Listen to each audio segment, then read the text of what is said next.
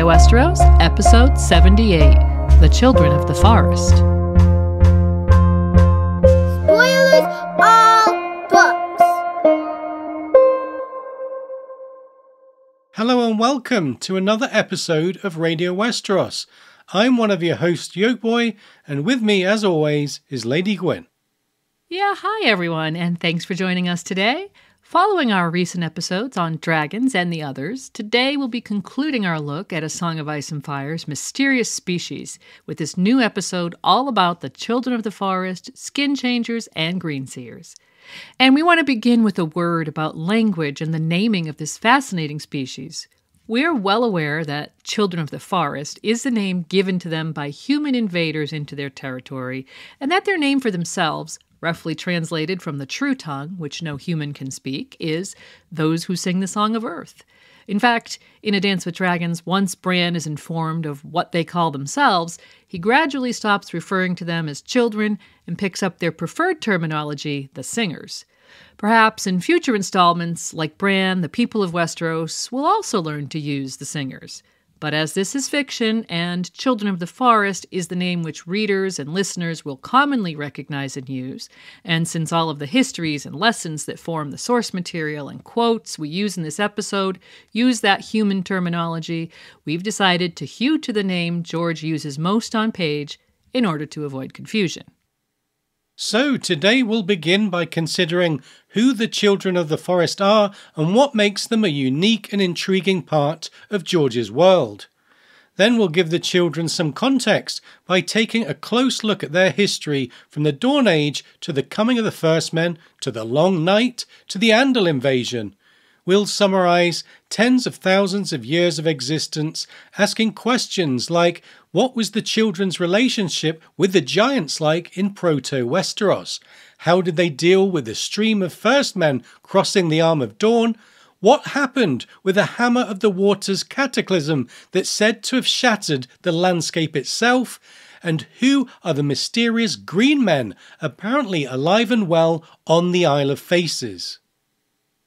Next, we'll consider if some of the children's magic, skin changing, green dreaming, and green seeing, are a matter of blood, and ponder how such abilities found their way into human characters like Bran Stark. The children are said to have grown close to the Crannogmen thousands of years ago, so we'll be exploring exactly what that might mean. Then we'll delve deep into the culture and magics of the children and look at those iconic weirwood trees sacred to their society and the religion of the old gods. Why do the children value them so highly? How do they connect to green seeing? And what can we glean from the lessons Bloodraven teaches Bran in that cave beyond the wall? Finally, we'll consider the children of the forest in the current story and ponder the notion that the ghost of High Heart might be related to them. We'll take a crackpot theory look at who her parents could be. This episode will be full of wonder and mystery, and if you love the children, weirwoods, the old gods, skin changing, mysteries, and intrigue, then boy, do we have the episode for you. But before we begin today's episode, we want to take a moment to thank our patrons. Radio Westeros is supported by patrons, and our heartfelt thanks go to our Flaming Lightbringer patron, TJ Harrington, our Dragonsteel patron, Peter, and our Pale as Milk Glass patrons, Alex, Akka in the Company of the Cats, Crispy the Song of Ice, Seth, Kelly, Laura, Sister Winter, Multude, John Wergarian, and Empty Walls, first of his name, as well as B Word and Mr. J, the Bear and the Maiden Fair, and Sir Tim of House Jib Jab Hot Dog Shop, house motto, We forge the chains we wear in life. And if you want to support the podcast, head on over to patreon.com slash Radio Westeros, and you could be getting early access to episodes, personalized shoutouts, and more. Thank you to all of our patrons. We couldn't do this without you.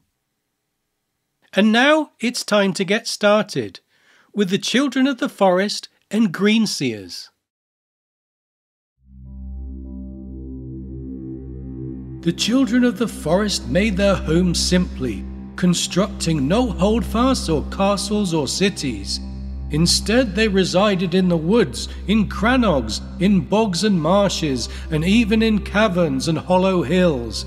It is said that, in the woods, they made shelter of leaves and withies up in the branches of the trees. Secret tree towns. In previous episodes on dragons and the others, we explored A Song of Ice and Fire's most famous mythical beings, beginning with their appearance, powers, and the influences George was drawing from in their designs. But there's another species that belongs in the same bracket with regards to their magical abilities and massive influence on the story the children of the forest. While, like the others, glimpses of the children have been limited, their impact on George's world cannot be overstated. By the time Bran finally sets eyes on one in A Dance with Dragons, we are already well aware of their history, having been fed trickles of information from as early as Bran 1 of A Game of Thrones, where our POV noted that his father Ned would sometimes tell tales of the children of the forest. However, in the second chapter of Game of Thrones, Catelyn 1, we learn that the children were thought to be extinct by other characters in story. Catelyn finds herself in the Winterfell Godswood, thinking, Ned had built a small sept where she might sing to the seven faces of God, but the blood of the first men still flowed in the veins of the Starks, and his own gods were the old ones, the nameless, faceless gods of the greenwood they shared with the vanished children of the forest. And so the reader is left to ponder from that early stage whether the children really are extinct or whether they're hiding in some remote area of the map away from civilization. And so it's a great moment five books later when we are introduced to a real living child of the forest in Bran's POV. Seen at first through Hodor's eyes in a moment of chaos, Leaf reminds him of his sister Arya on account of her stature and appearance it says she was a scrawny thing, ragged, wild, her hair a tangle. Soon we get a more detailed description of Leaf from Bran. That was not Arya's voice, nor any child's. It was a woman's voice, high and sweet, with a strange music in it like none that he had ever heard, and a sadness that he thought might break his heart. Bran squinted to see her better. It was a girl, but smaller than Arya, her skin dappled like a doe's beneath a cloak of leaves. Her eyes were queer, large and liquid, golden green, slitted like a cat's eyes. No one has eyes like that. Her hair was a tangle of brown and red and gold, autumn colors with vines and twigs and withered flowers woven through it. While this description is fairly short, it covers a lot of ground in one paragraph. It puts a vivid picture in our heads of the species. Initially mistaken for Arya, she has basic humanoid qualities like two arms and legs, and Bran is immediately able to identify her as a girl. She has a mess of hair described as autumnal, giving us the impression of a folk deeply connected to flora. But there are also features that are less human. Leaf seems fully grown but is small with dappled doe like skin. Her eyes are more like an animal's, large and strange and cat like. When we talked about the others, we discussed how George made them seem both human and inhuman at the same time. There's something intriguing about a mystical species who are simultaneously relatable and different from ourselves. Here, George uses the same trick again, but rather than the elemental influence of ice, the children embody another aspect of nature fire for dragons, ice for others, earth for the children. But the design of the children isn't purely aesthetic and conceptual.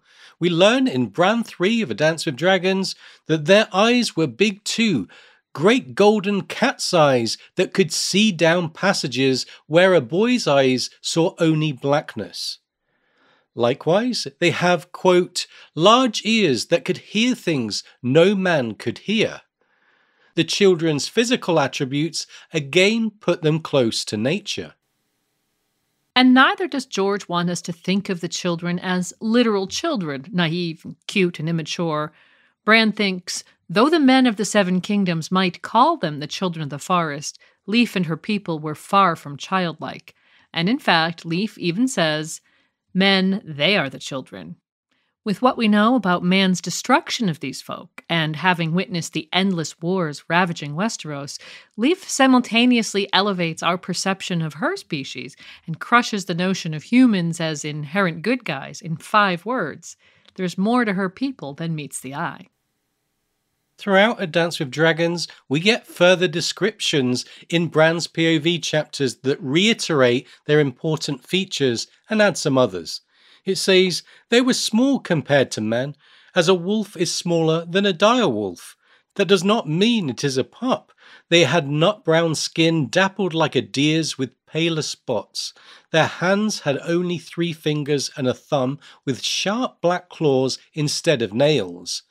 And they did sing. They sang in true tongue, so Bran could not understand the words, but their voices were as pure as winter air. This last observation from Bran about them being actual singers is a reference to their real name in the True Tongue, those who sing the Song of Earth. True Tongue is their native language, which the World Book says originated or drew inspiration from the sounds they heard every day and probably shared much of its beauty. In a brief passage about Brandon the Builder learning to interact with the children, it says, Brandon could not at first understand their speech, which was described as sounding like the song of stones in a brook, or wind through the leaves, or the rain upon the water. So this reminds us of the others, whose speech sounded to Will like the cracking of ice on a winter lake, only it's less terrifying and perhaps more beautiful and the children's melancholy voices aren't just there for beauty, but serve to remind us of the decimation at human hands. When describing their speeches sounding sad enough to break Bran's heart, George dispels any notion of them being happy little forest elves. In A Game of Thrones, Maester Luwin lets us know that far from being passive, adorable creatures, in reality they armed themselves with sharp weapons. He tells Bran, The children of the forest hunted with obsidian thousands of years ago. The children worked no metal. In place of mail, they wore long shirts of woven leaves and bound their legs in bark, so they seemed to melt into the wood. In place of swords, they carried blades of obsidian.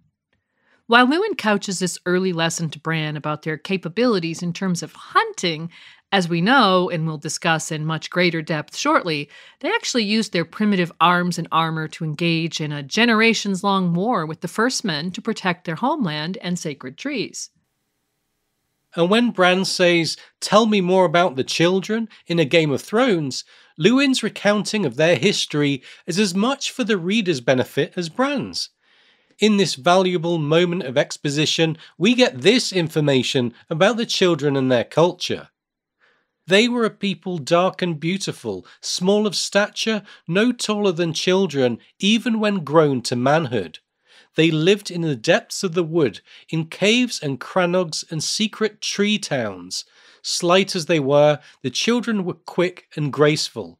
Male and female hunted together with weirwood bows and flying snares.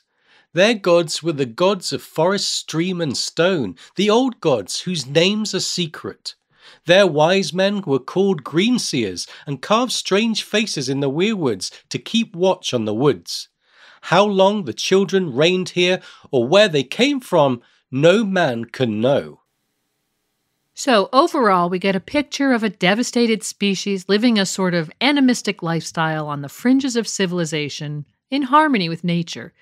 As a fictional species, they complement the others and dragons, offering something a little different but maintaining a high level of intrigue. But while George should be credited for the children's uniqueness, their design is rooted in the mythology and literature that influenced him. So let's consider where George was getting his ideas from. In our recent episode on the others, we noted the fact that George had described them as looking like the Sidhe from Irish mythology, and so perhaps Irish mythology is a good starting point when discussing the influences behind the Children of the Forest. According to Gaelic legend, the Tuatha De Danann were a supernatural race of ancient inhabitants in Ireland.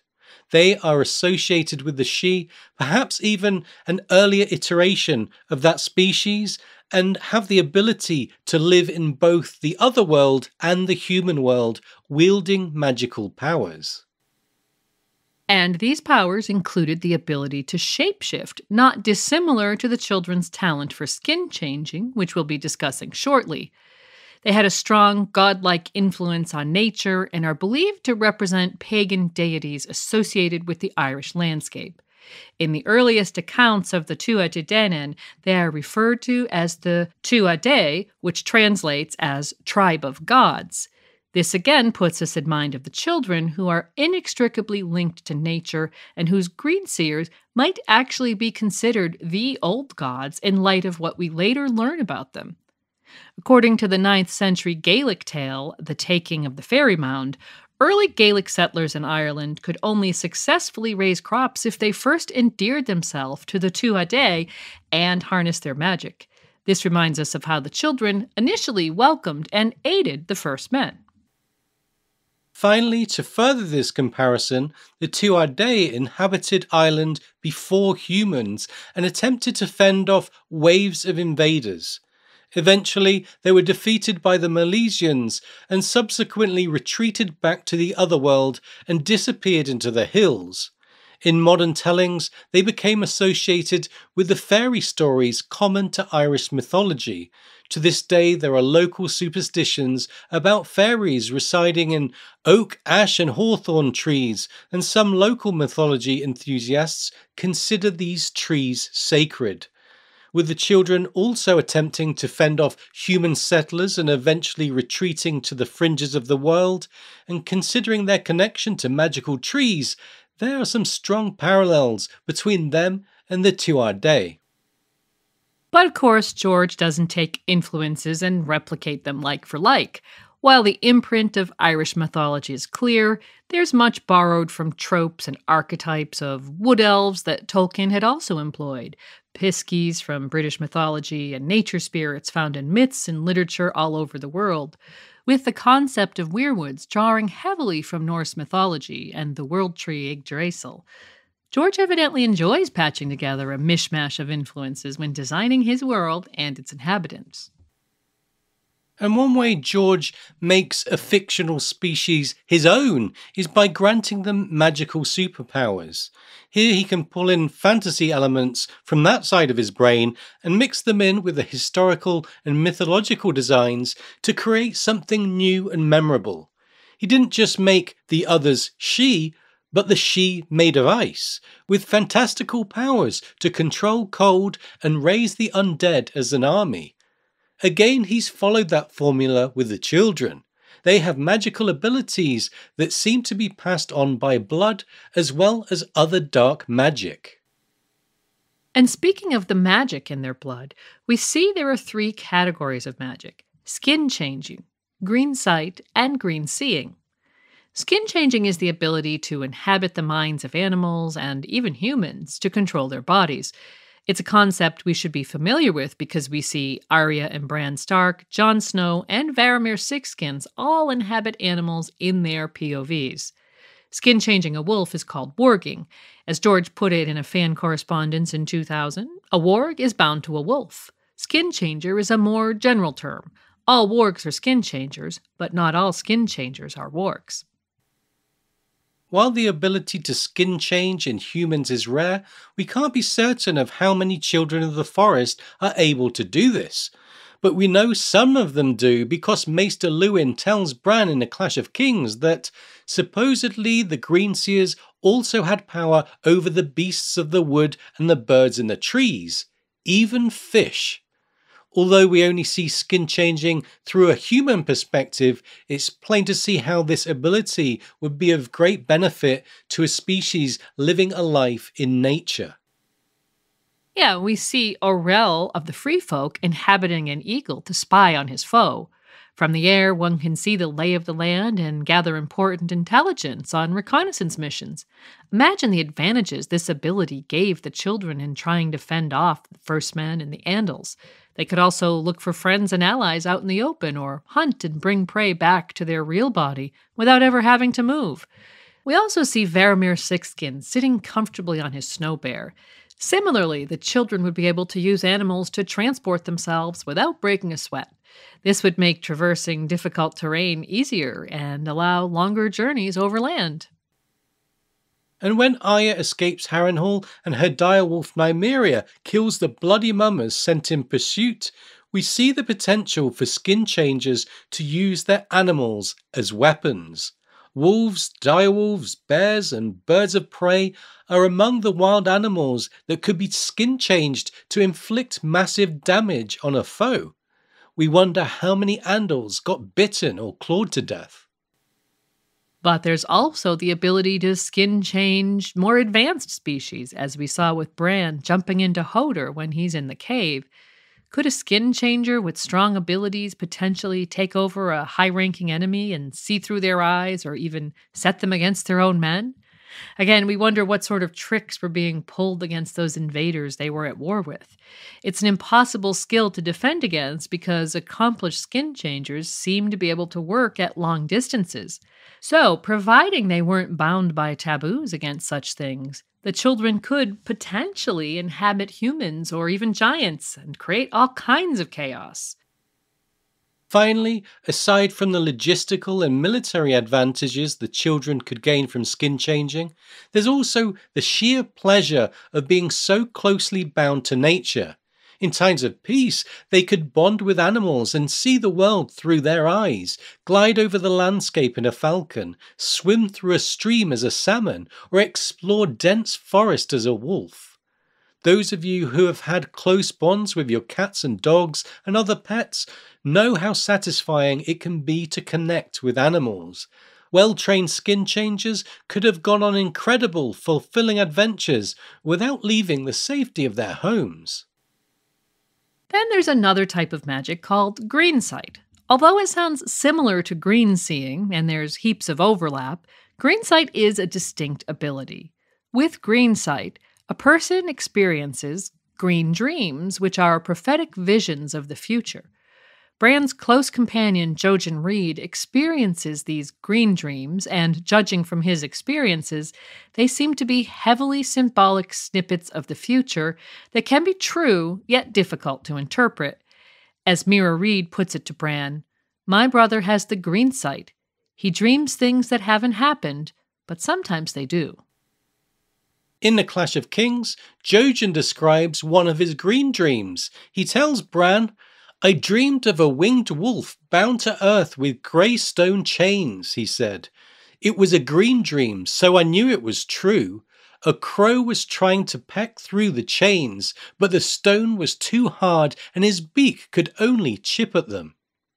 In response, Bran asked, Did the crow have three eyes? And it says, Jojen nodded. So, this dream seems to be a symbolic account of Bloodraven's efforts to assist Bran's green potential.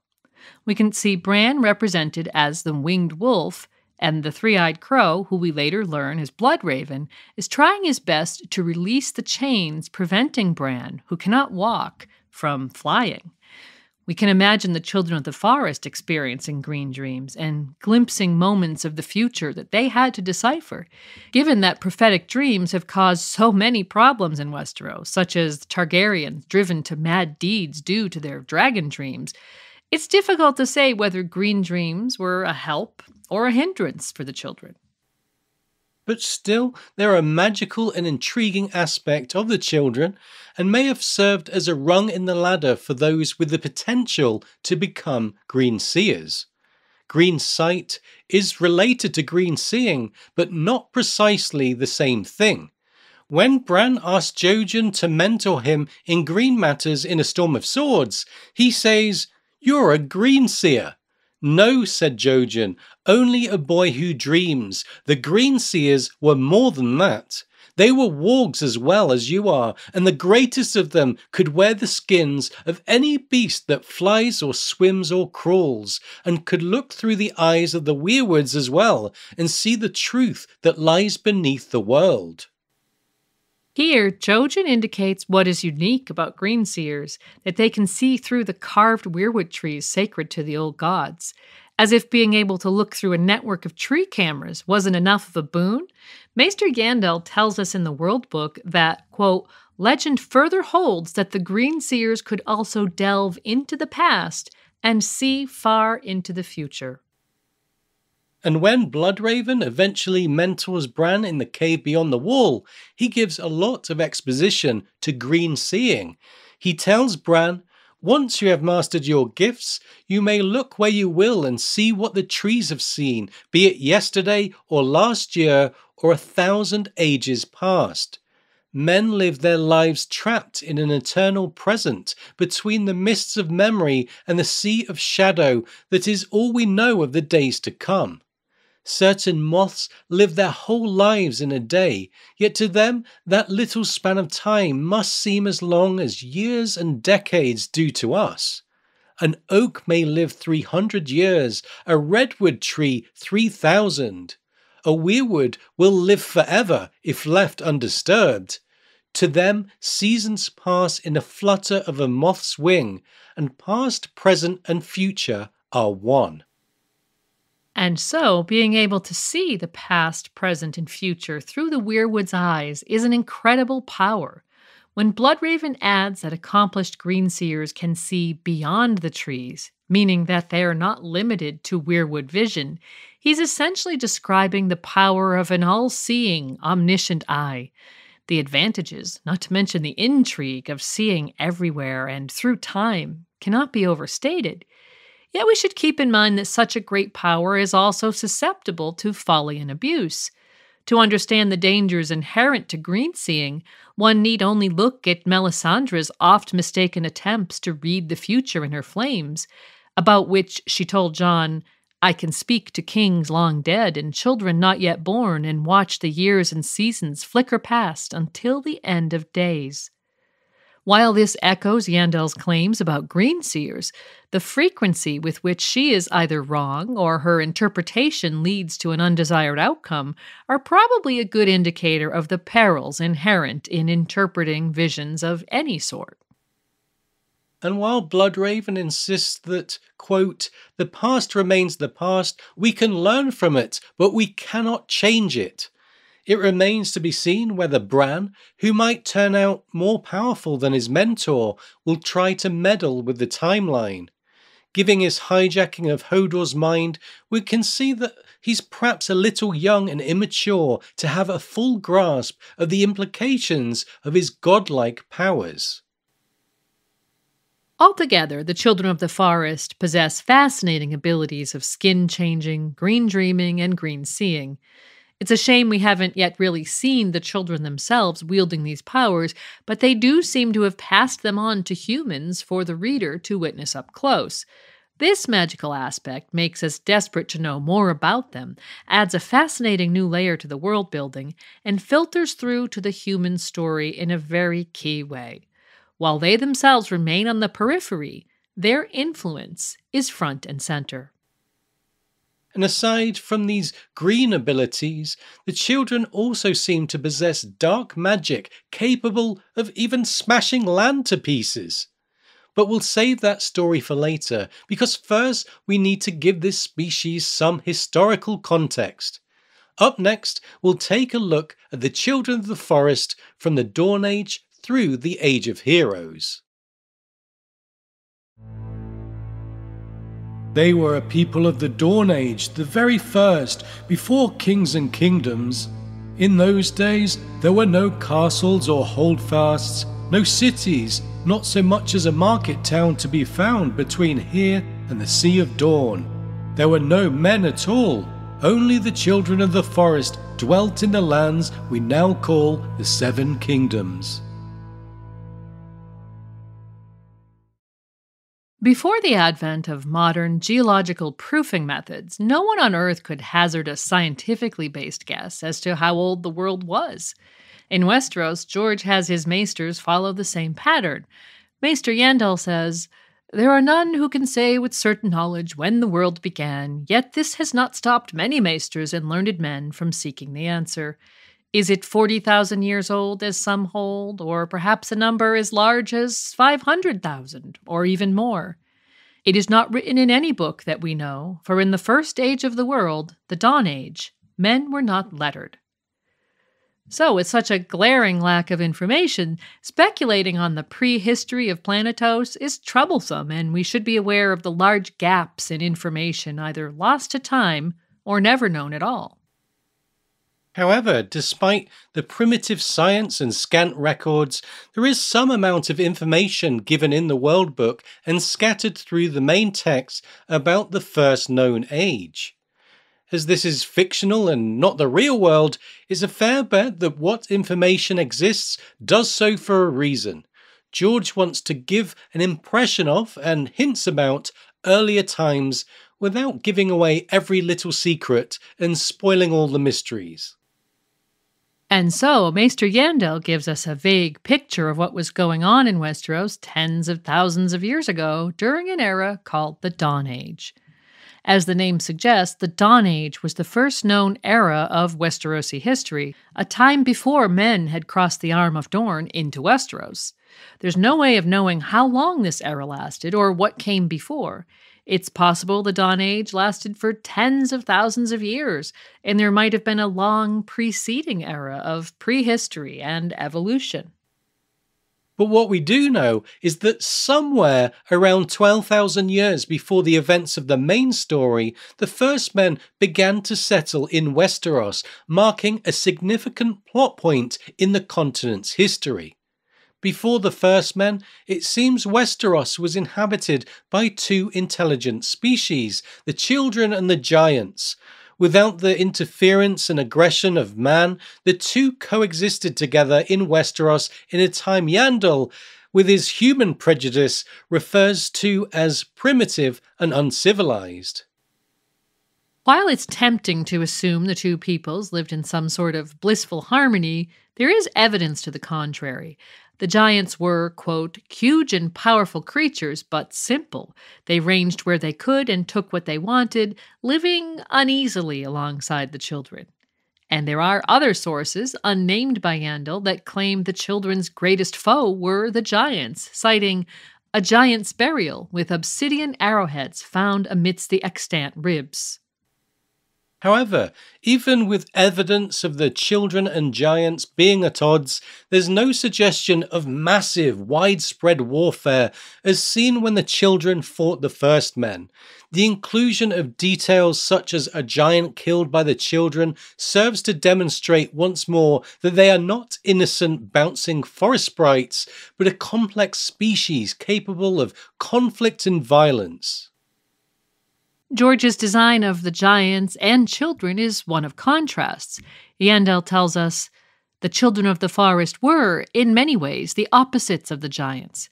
As small as children, but dark and beautiful, they lived in a manner we might call crude today, yet they were still less barbarous than the giants. They worked no metal, but they had great art in working obsidian, what the small folk call dragon glass, while the Valyrians knew it by a word meaning frozen fire to make tools and weapons for hunting. They wove no cloths, but were skilled in making garments of leaves and bark. They learned to make bows of weirwood and to construct flying snares of grass, and both of the sexes hunted with these. So, given the differences between the two species, it's interesting to consider them living together on a continent for an undetermined but extensive period of time the giants would have used their brute strength, perhaps arming themselves with crude weapons like tree stump clubs they could swing and throw. In close combat, the children would be vulnerable to being hit and crushed to death. However, small as they were, they were also quick and nimble. The giants call them woh dak nag turn, which translates to little squirrel people, so we can imagine them climbing trees and hiding in the canopy. The threat of the giants might even be the reason they chose to inhabit woodland to begin with, given being out in the open would give them less places to retreat. And as we saw in the last segment, we can't forget their green seers. As leaders of the children, the Green Seers could wield their powers to great effect, warging animals from the safety of the treetops to spy, track, and fight, as we mentioned. We can imagine the cumbersome giant's frustrations in trying to catch the children and defend against skin changed animals. The contrast between the species works to great effect in such imaginings. But although Yandel hints at the evidence of their conflict, who knows how often they came to blows? A single giant body filled with obsidian arrowheads, tells a story, but does it tell the whole story? If the children and giants lived together on Westeros for tens of thousands of years, possibly even longer, one body is a small sample size. Was there cooperation between the two species? Did they have periods of harmony? Were offerings made? It's not a perfect comparison because they're not a different species, but the Night's Watch are enemies to the free folk, yet there are still trades and understandings that add complexity to their relationship. Perhaps the relationship between giants and the children carried a similar nuance not recorded in the scant history books written millennia after the fact. But one fact we can be sure of is that the giants were not enough of a threat to the children to stop them spreading far and wide. As Yandel puts it, there is no doubt that they could once be found from the lands of always winter to the shores of the summer sea. Yet the view that the children evolved on Westeros and remained on that continent seems to have been dispelled by the World Book. In the section on Ib, it says, The god kings of Ib, before their fall, did succeed in conquering and colonizing a huge swath of northern Essos immediately south of Ib itself, a densely wooded region that had formerly been the home of a small, shy forest folk. Some say that the Ibbenese extinguished this gentle race, while others believed they went into hiding in the deeper woods or fled to other lands. The Dothraki still called the great forest along the northern coast the kingdom of the Ifequevron, the name by which they knew the vanished forest dwellers. And we even get further accounts of these forest dwellers from a couple of Westerosi sources, as Yandel tells us that the fabled sea snake, Corlys Velaryon, Lord of the Tides, was the first Westerosi to visit these woods. After his return from the Thousand Islands, he wrote of carved trees, haunted grottos, and strange silences. A later traveler, the merchant adventurer Brian of Oldtown, captain of the cog Spearshaker, provided an account of his own journey across the shivering sea. He reported that the Dothraki name for the lost people meant those who walk in the woods. None of the Ibbenese that Brian of Oldtown met could say that they had ever seen a woods walker, but claimed that the little people blessed a household that left offerings of leaf and stone and water overnight. And if a mysterious species of tree carving, woodwalking little people is sounding familiar, we are also told they had significant powers of some sort. Yandel says, The horse lords had hitherto shunned the forests of the northern coasts. Some say this was because of their reverence for the vanished woodwalkers, others because they feared their powers. We've seen up close how fearless and aggressive the Dothraki can be, and that their respect has to be earned in bloody combat, as we saw in the tale of the 3,000 Unsullied defending Qohor. So, what made the Dothraki fear or respect these woodwalkers? What happened to make the Khals decide to avoid an entire species and a massive area of the map? Yeah, it does point to the woodwalkers having powers that both impressed and unnerved the belligerent Dothraki. Keeping in mind that Dothraki culture, like the Mongols of real history, revolves around horses, is it possible the woodwalkers began skin changing Dothraki mounts? One way to really scare the Dothraki people would be to mess with their horses, because that would take their power away. And finally, in the grasslands section of the World Book, we learn that even the usually skeptical maesters believe that the Ifequevron were related to the children of the forest. It says, in the forest to the north, along the shores of the shivering sea, were the domains of the Woodswalkers, a diminutive folk who many maesters believe to have been kin to the children of the forest. And so, if the Ifequevron were related to the children, as seems highly likely, many questions arise. Were they the exact same species? Different branches of the same species? Or was one the ancestor of the other? Does the existence of proto children in Essos hint that they first existed there and made their way to Westeros over time? Or was it the other way around? Sadly, there's one detail that limits our excitement at the evidence of an Essosi version of the Children of the Forest.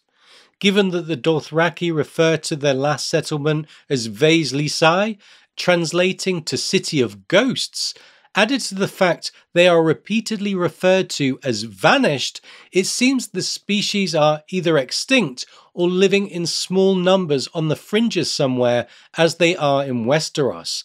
Did the Ibbenese really extinguish them? And if not, where did they retreat to?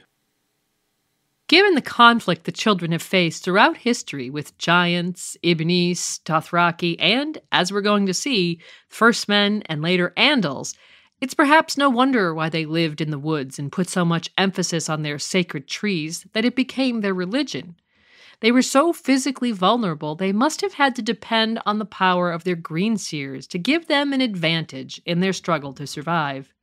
And speaking of surviving, up next, we're going to explore what happened when humans arrived in Westeros and entered the children's territory.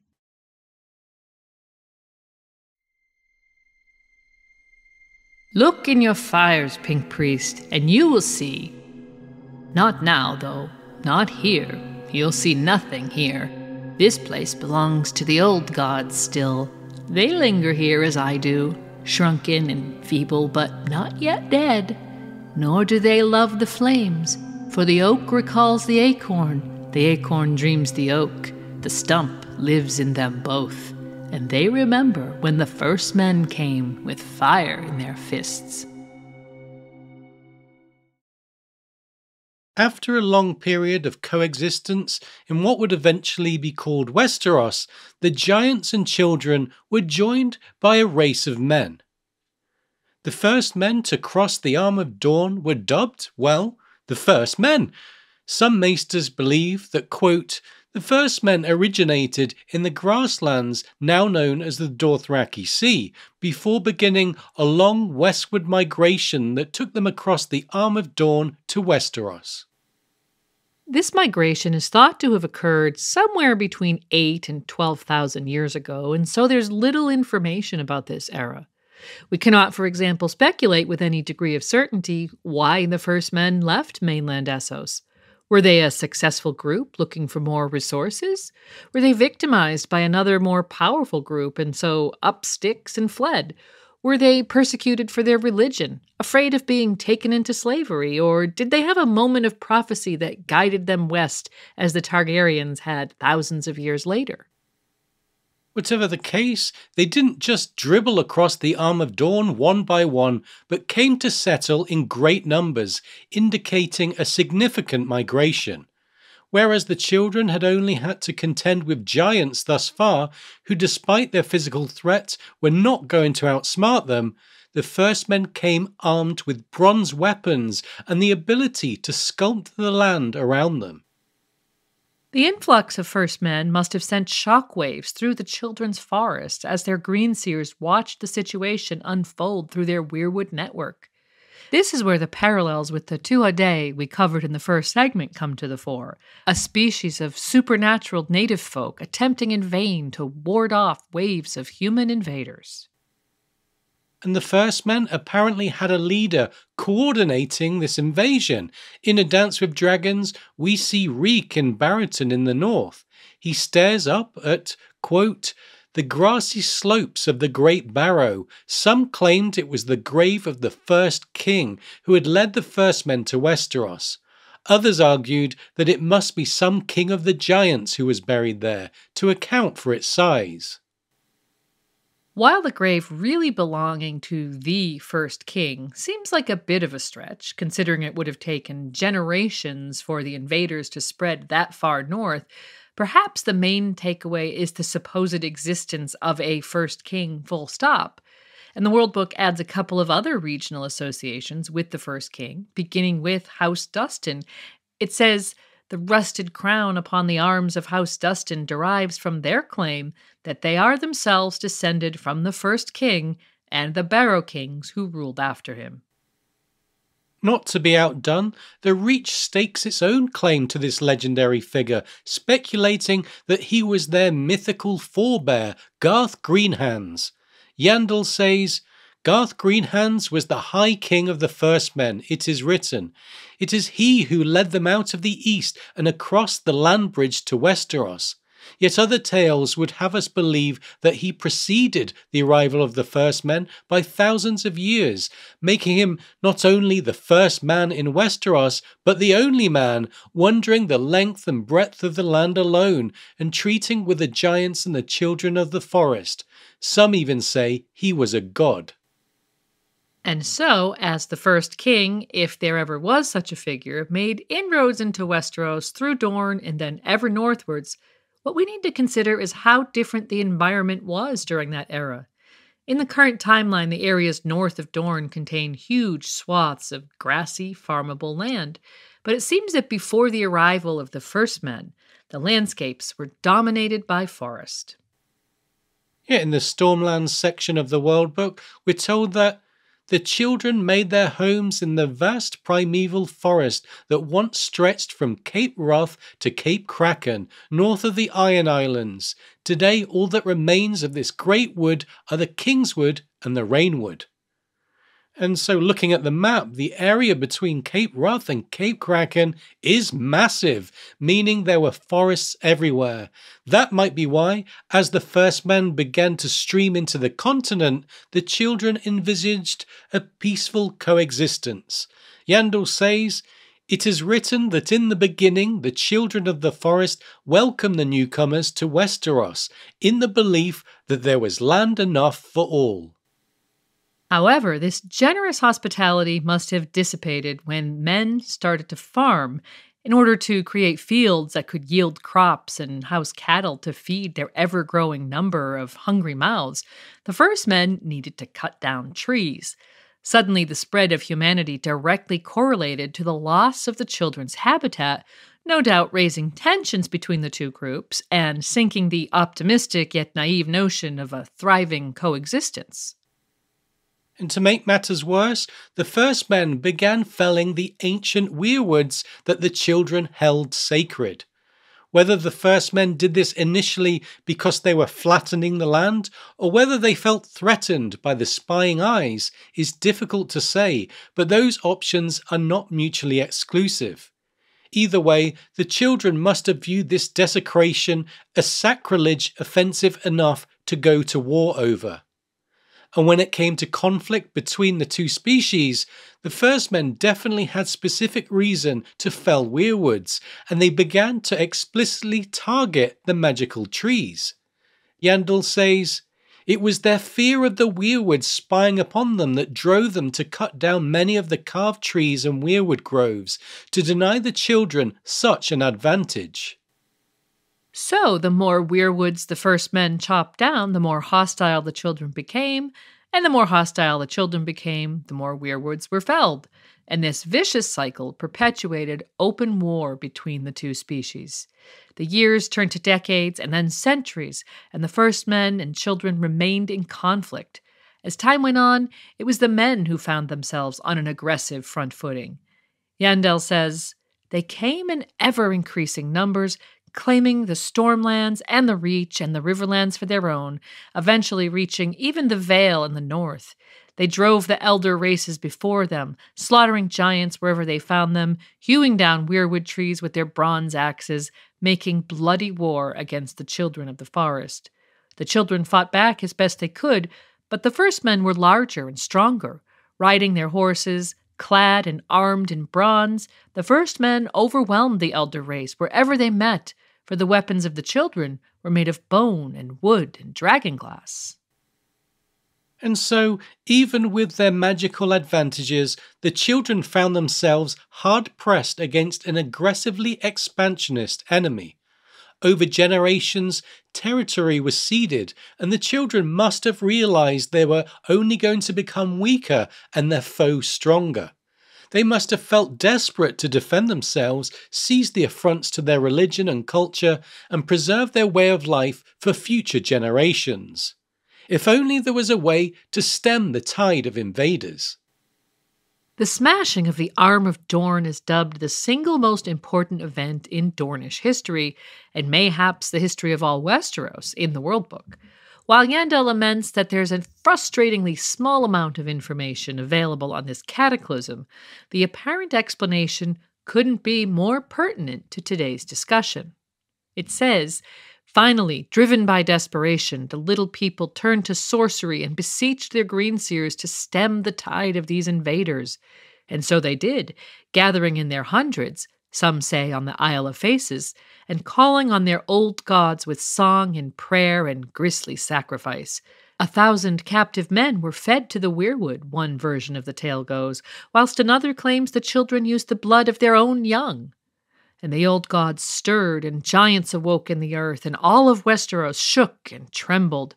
Great cracks appeared in the earth, and hills and mountains collapsed and were swallowed up. And then the seas came rushing in, and the arm of Dorne was broken and shattered by the force of the water until only a few bare rocky islands remained above the waves. The summer sea joined the narrow sea, and the bridge between Essos and Westeros vanished for all time. If the tale of the children of the forest calling down the hammer of the waters is true, and we'd have to wonder why George would include these details if it wasn't, this legend serves to demonstrate the mind boggling force of the dark magic the Greenseers were able to wield.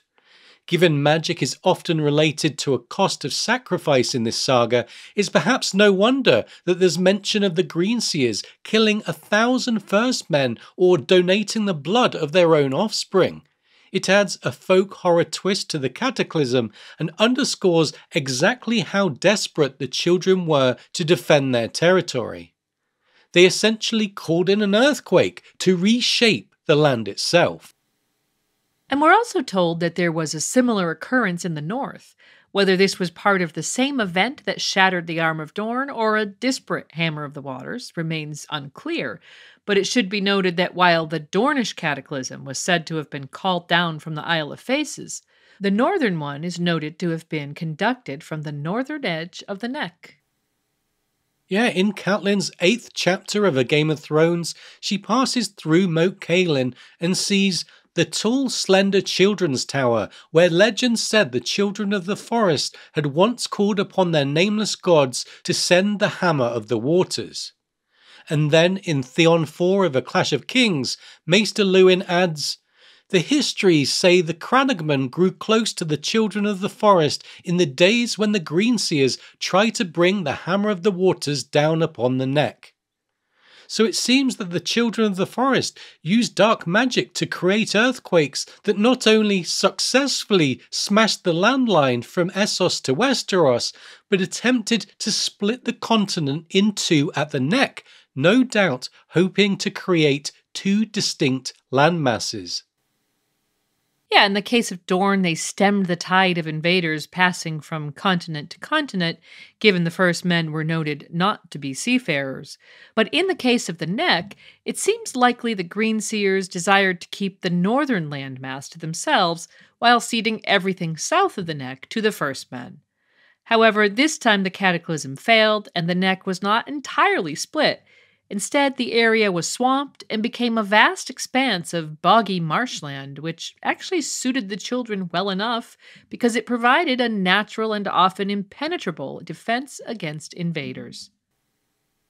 And it was during this time that certain tribes of first men apparently grew close to the children, the Crannogmen, as they're now called, grew so close, in fact, that legend has it they intermarried with them, explaining why the modern Crannogmen are typically small in stature. The Crannogmen were led by their Marsh King until, quote, the last Marsh King was killed by Lord Rickard Stark, who took his daughter to wife, whereupon the Crannogmen bent their knees and accepted the dominion of Winterfell. So here arises the possibility of magical bloodlines in George's world, but we'll save a detailed discussion of that for later and keep on track here with our discussion of the war against the First Men. Yeah, we can imagine after the double hammer of the waters that the first men might have lost some of their appetite for war. With the children retreating and turning to dark magic, they must have realized that their chances of winning decisively were diminishing so both sides agreed to make peace in an event known to history as the Pact. Here's what Yandel tells us. The wisest of both races prevailed, and the chief heroes and rulers of both sides met upon the isle in the God's Eye to form the pact. Giving up all the lands of Westeros save for the deep forests, the children won from the first men the promise that they would no longer cut down the weirwoods. All the weirwoods on the isle on which the pact was forged were then carved with faces so that the gods could witness the pact, and the Order of Green Men was made afterward to tend to the weirwoods and protect the isle. So the pact was made roughly 10,000 years ago. Given that we're told the first men arrived 12,000 years ago, as rough as these dates may be, we get a sense of just how long the two species were at war centuries, if not millennia, possibly as much as 2,000 years. It's no wonder that war weariness set in on both sides. Westeros was in dire need of peace. And the children weren't exactly asking for a lot. Having surrendered so much land to the first men over the generations of war, in peace they didn't seek to regain territory, but instead, much like real world Anglo Saxons negotiating with pagan Northmen to save their churches and monasteries, the children seemed mainly motivated by the desire to protect their weirwood trees.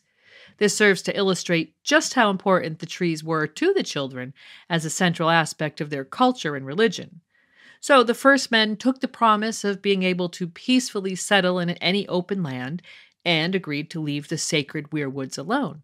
The pact was agreed on the Isle of Faces, and new faces carved onto the weirwoods there actually gave the isle its name. One of the most interesting aspects about the pact is the mention of the Order of the Green Men. Who or what the Green Men are is one of the deeper mysteries of the series, and they are so seldom mentioned readers can be forgiven for forgetting about them. However, one person who hasn't forgotten about them is George R. R. Martin. When asked by a fan all the way back in 1999, will we see or hear anything of the green men on the Isle of Faces? George replied, The green men and the Isle of Faces will come to the fore in later books. And as if to emphasize their significance, he added, Boy, it's tough to sneak anything by you guys.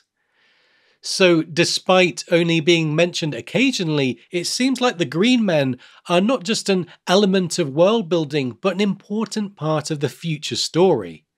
So, let's take a look at what we know about them to see if we can get a grasp on what their role in the story might be. The Green Men are actually mentioned very early on in the saga. In Kat's first Game of Thrones chapter, set in the Winterfell Godswood, she thinks in the south, the last weirwoods had been cut down or burned out a thousand years ago, except on the Isle of Faces, where the green men kept their silent watch. Paired with Maester Luwin's comment later in the same book that the Sacred Order of Green Men was formed to keep watch over the Isle of Faces, we can conclude that the Green Men are protectors of the Isle, perhaps originally seeking to ensure the pact was upheld by protecting its everlasting witnesses, like priests tending an eternal flame.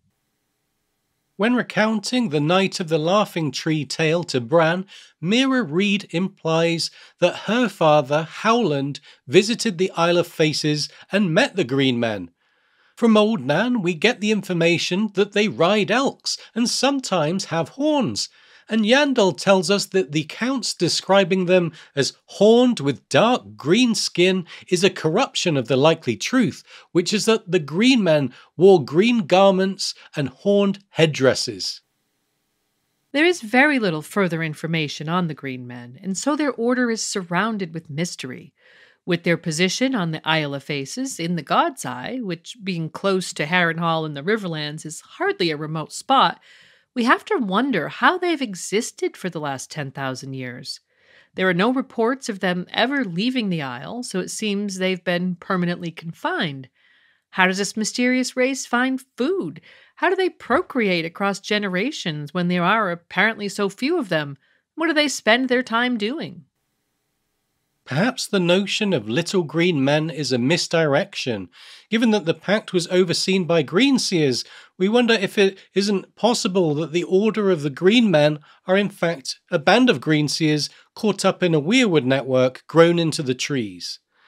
As we'll see, they could then take nourishment from the weirwoods, wouldn't have to breed, and could spend their time on the weirnet, perhaps trying to influence fate where they can.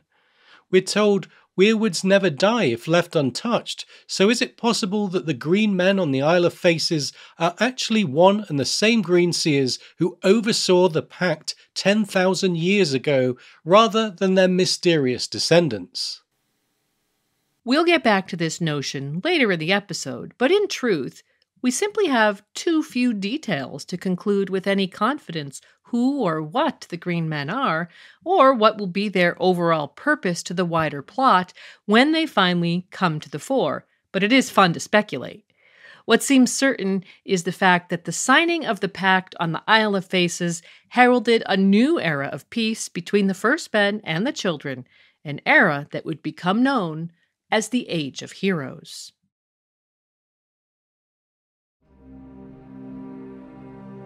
The pact began 4,000 years of friendship between men and children. In time, the first men even put aside the gods they had brought with them and took up the worship of the secret gods of the wood.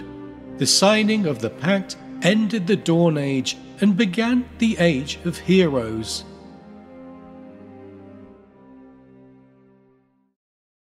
According to Maester Luwin, the Pact and the Age of Heroes began 4,000 years of friendship between men and children. Even accounting for historical inaccuracies, the message is that there was a very long period of peace, stability, and coexistence in Westeros. To demonstrate just how at ease with each other some of the men and children became during that era, Luwin adds that in time, the first men even put aside the gods they had brought with them and took up the worship of the secret gods of the wood. So, this seems like an elegant solution to the first men chopping down weirwoods left, right, and centre. They began to embrace the worship of the old gods.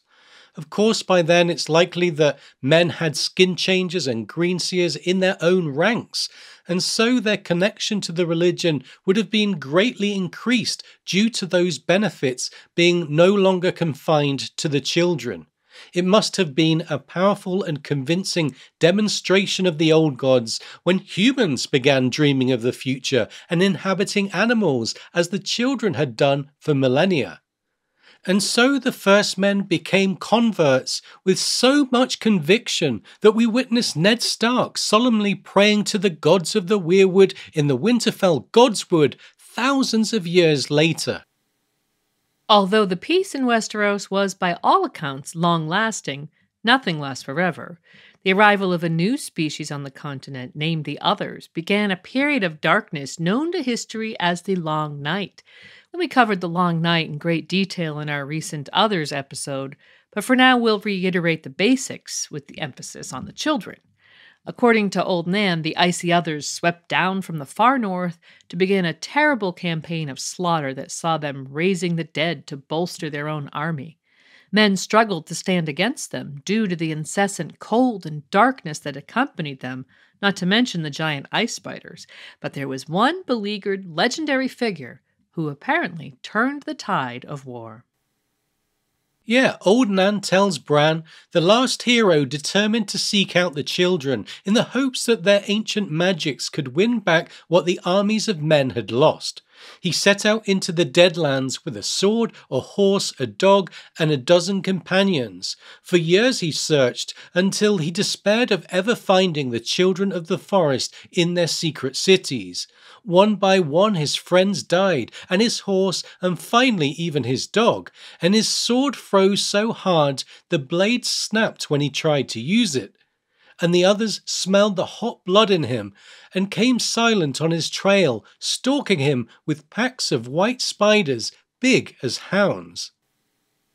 George uses Maester Luwin's interruption there to withhold further information and keep us on the edge of our seats. However, although we don't get a detailed account of what comes next in the story, there are overt hints in the main plot points.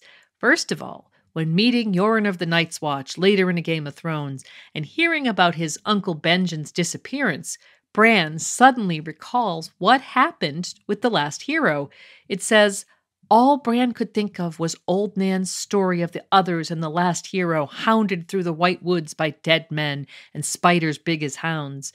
He was afraid for a moment until he remembered how that story ended. The children will help him, he blurted. The children of the forest. Then, in a feast for crows, Samwell Tarly, having researched the long night in the Castle Black Library, tells Jon Snow that I found one account of the long night that spoke of the last hero slaying others with a blade of dragon steel. Supposedly, they could not stand against it. And so, reading between the lines, we think it's likely that the help the children provided the last hero was to outline the other's weaknesses.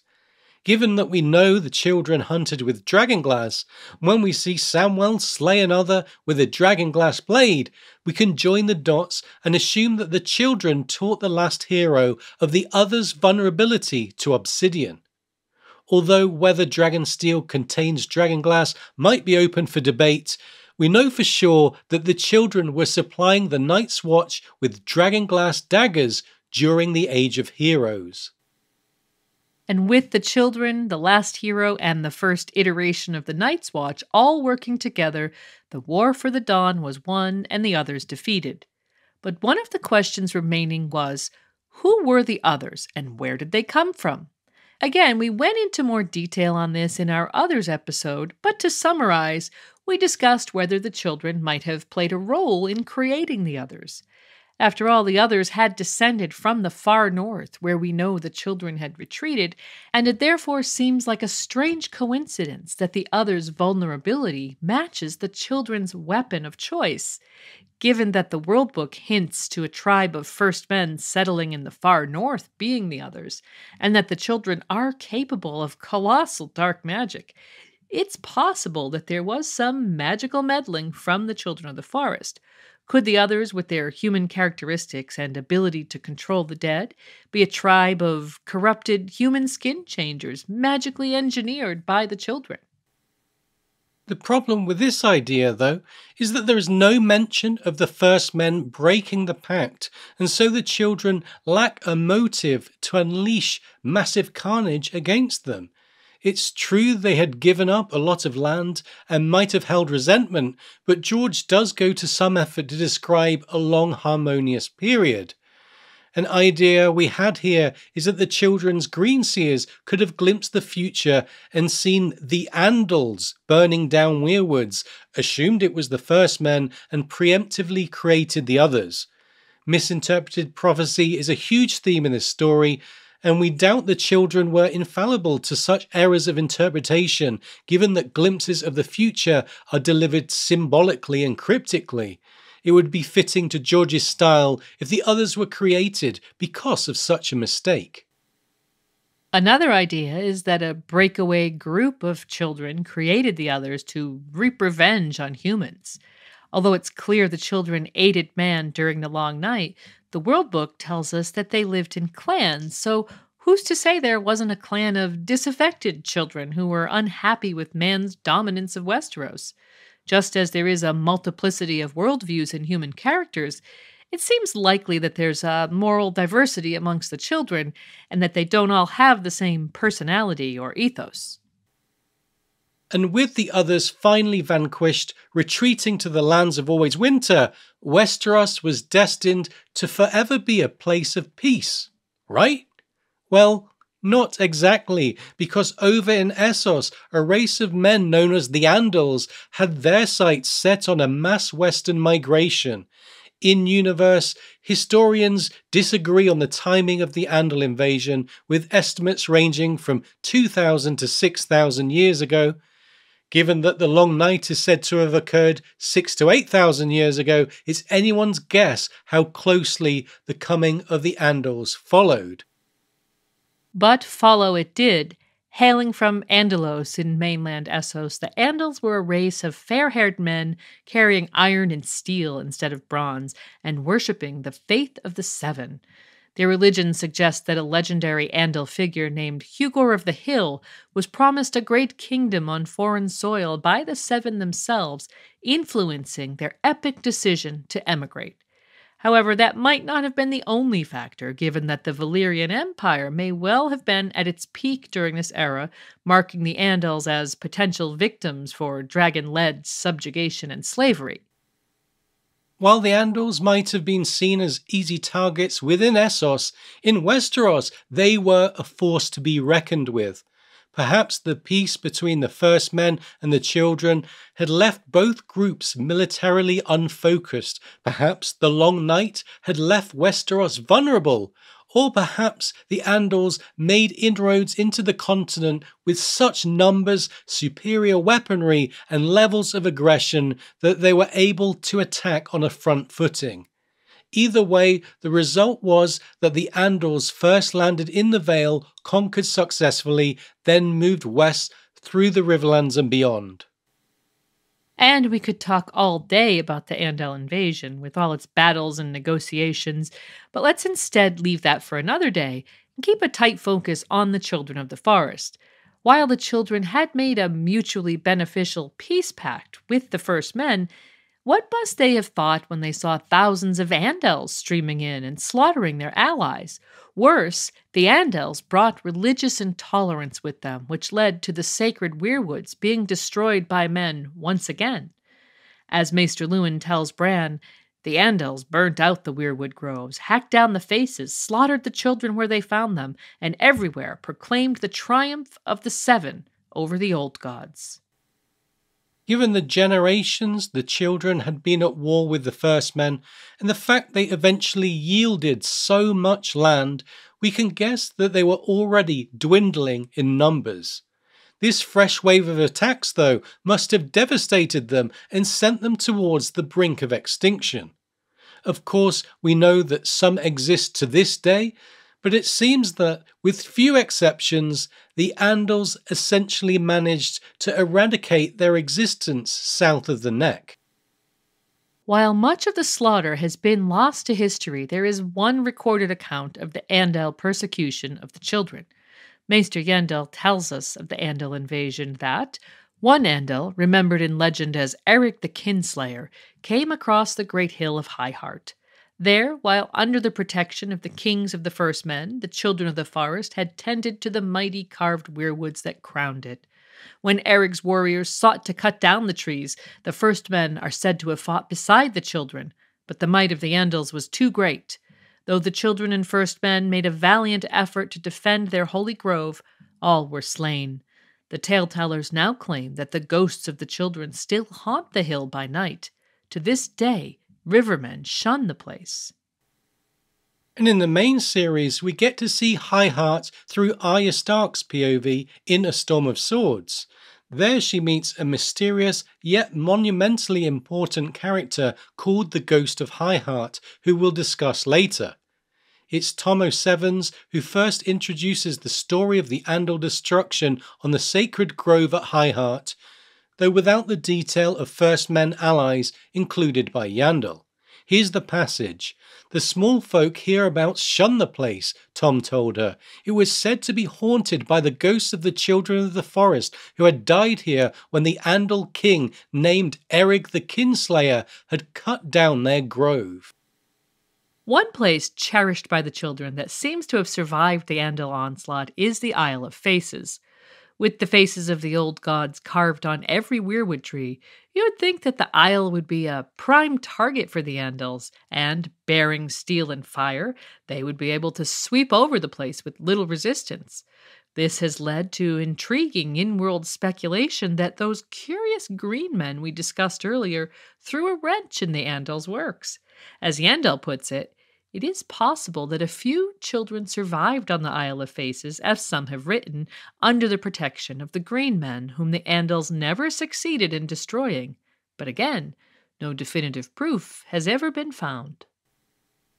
Sadly, in spite of the cooperation between children and first men at places like High Heart and in the Stormlands, where the Weirwood alliance between the first men of House Durrandon and the children won several key victories against the Andal invaders, The success of this line of resistance seems to have been the exception, as the Andal mission to eradicate a species deemed abominations, along with their strange gods, rolled across southern Westeros.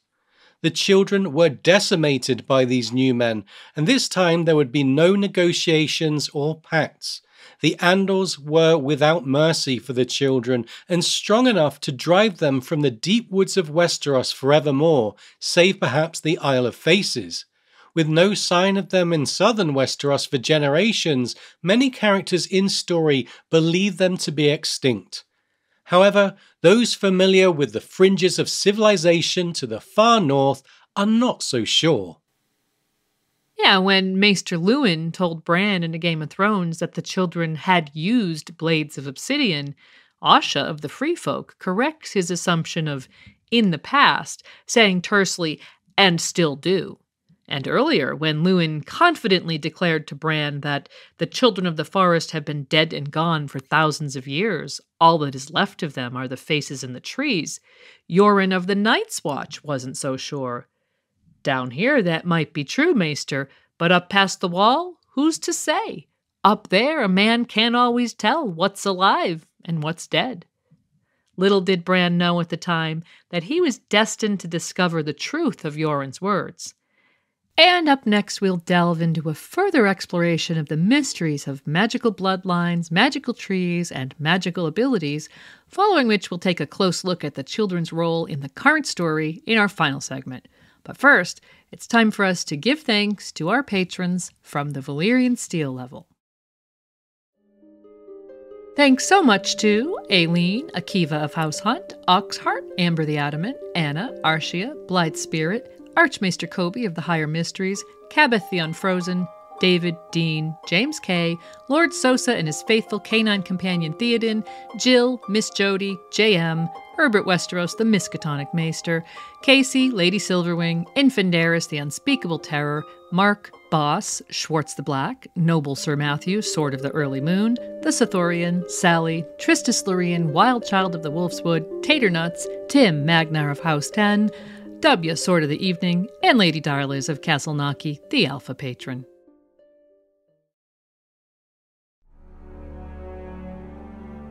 The histories say the Crannogmen grew close to the children of the forest in the days when the Greenseers tried to bring the Hammer of the Waters down upon the neck. It may be that they have secret knowledge.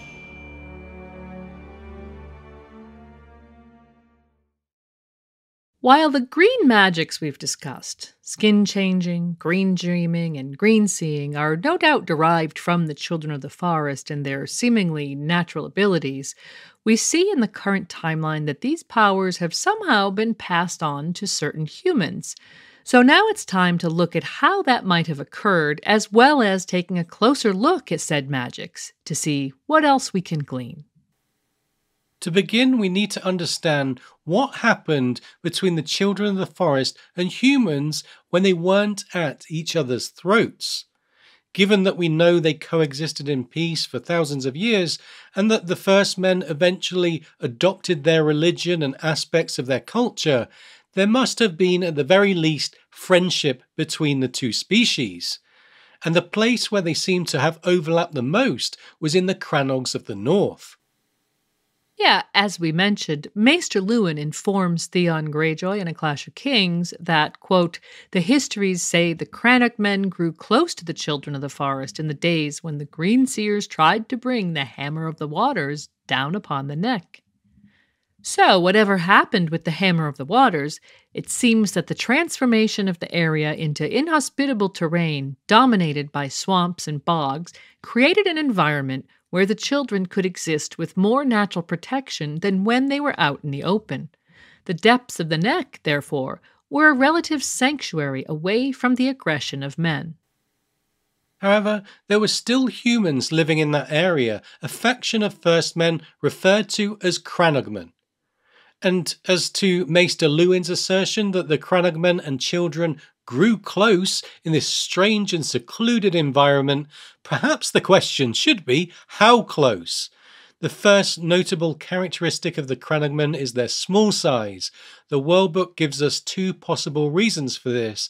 One that, quote, it results from inadequate nourishment, for grains do not flourish amidst the fens and swamps and salt marshes of the neck, and the Crannogman subsists largely upon a diet of fish, frogs, and lizards.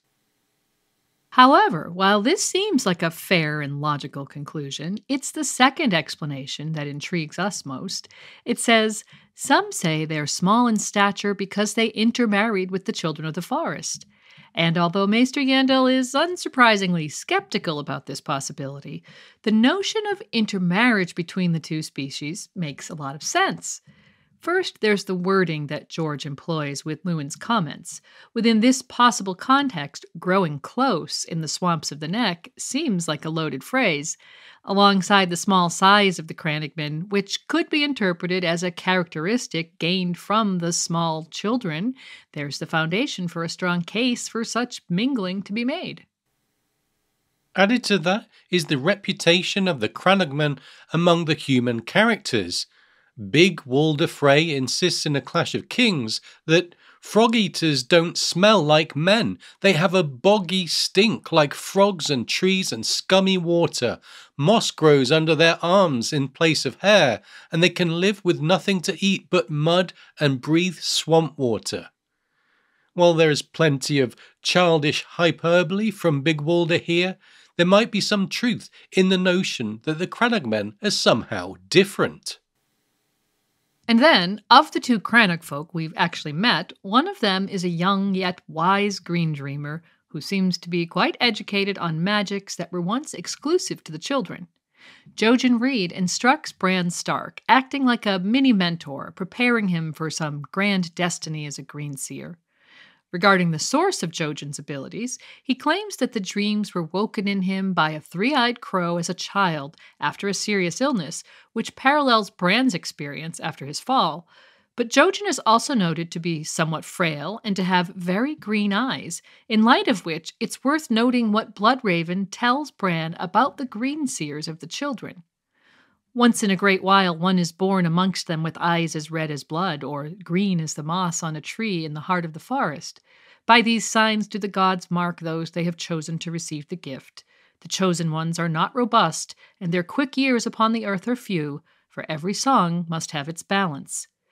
Could Jojen's physical characteristics hint that something he inherited in his blood gave him the ability to green dream? And speaking of blood, Along those lines, when Bran arrives at the cave north of the wall to begin his true apprenticeship with Bloodraven, his new mentor tells him, Your blood makes you a green seer. So there it is. We're ultimately told in no uncertain terms that the green magics are a matter of blood. In our previous episodes on dragons and others, we've speculated on whether or not George employs the well worn fantasy trope of magical bloodlines in this story. We think the fact that some characters with First Men blood possess these green magics adds to a compelling case that yes, he does. So now let's return to what Maester Yandel says about the relationship between Crannogman and Starks. Long ago, the histories claim the Crannogmen were ruled by the Marsh Kings. Singers tell of them riding on lizard lions and using great frog spears like lances, but that is clearly fancy. Were these Marsh Kings even truly kings as we understand it?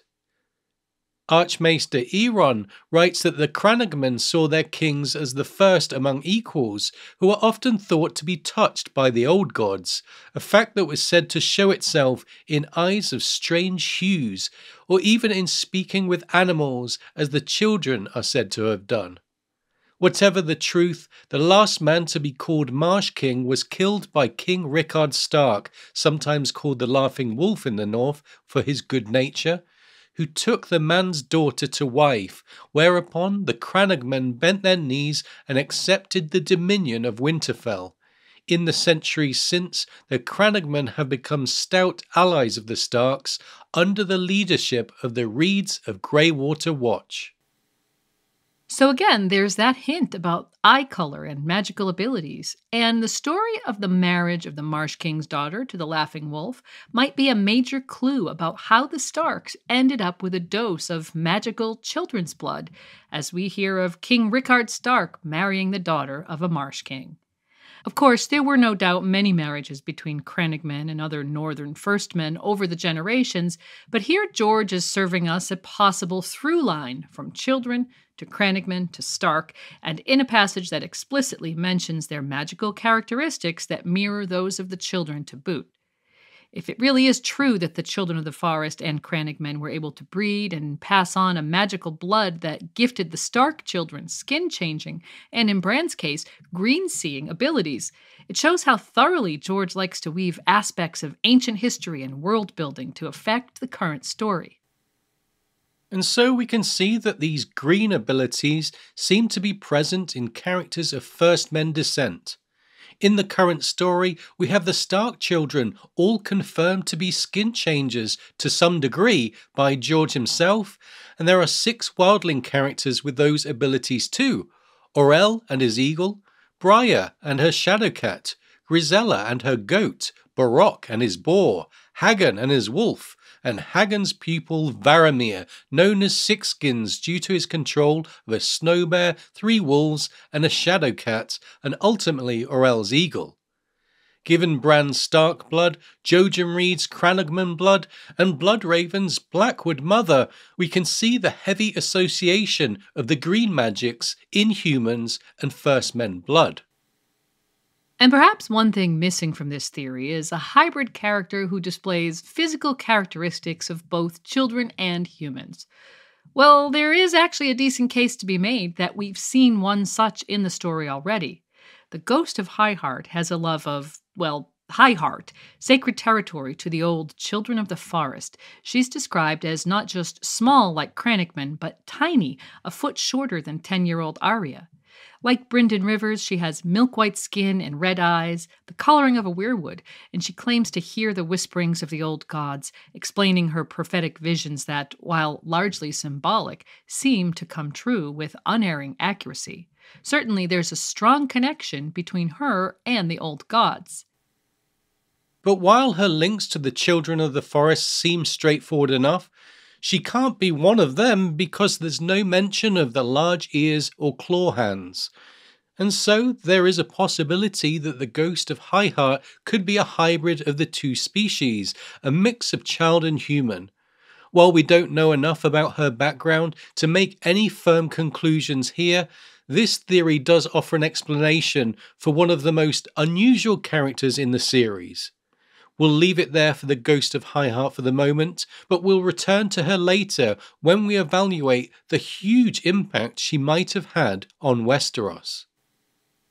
So, along with the notion that green powers can be passed along through blood and breeding, one thing we should point out is that blood is certainly no guarantee of these special powers. Although we've listed the characters in the current story that we know to be skin changers, green dreamers, or green seers, out of all the many characters with a decent amount of first men blood, this is still a tiny percentage.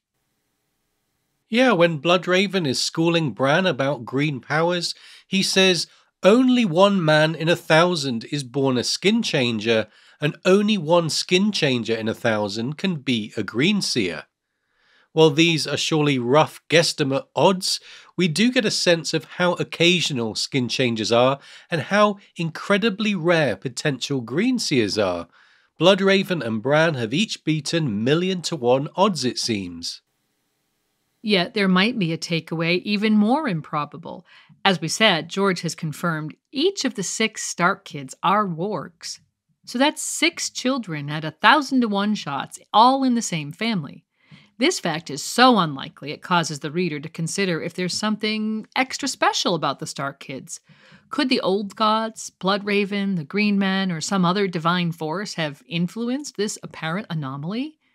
With the others rising from their millennia long slumber, dragons brought back from extinction, and the talk of an ancient hero being reborn, this is a crucial moment in history, and so it seems a heck of a coincidence that the Stark kids are all born with their magic in the same generation.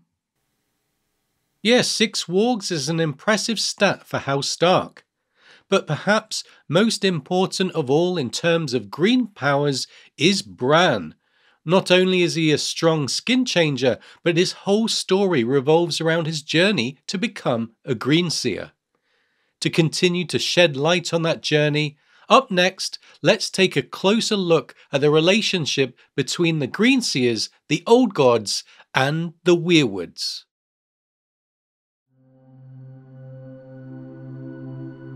Time is different for a tree than for a man. Sun and soil and water, these are things a weirwood understands, not days and years and centuries. For men, time is a river. We are trapped in its flow, hurtling from past to present, always in the same direction. The lives of trees are different.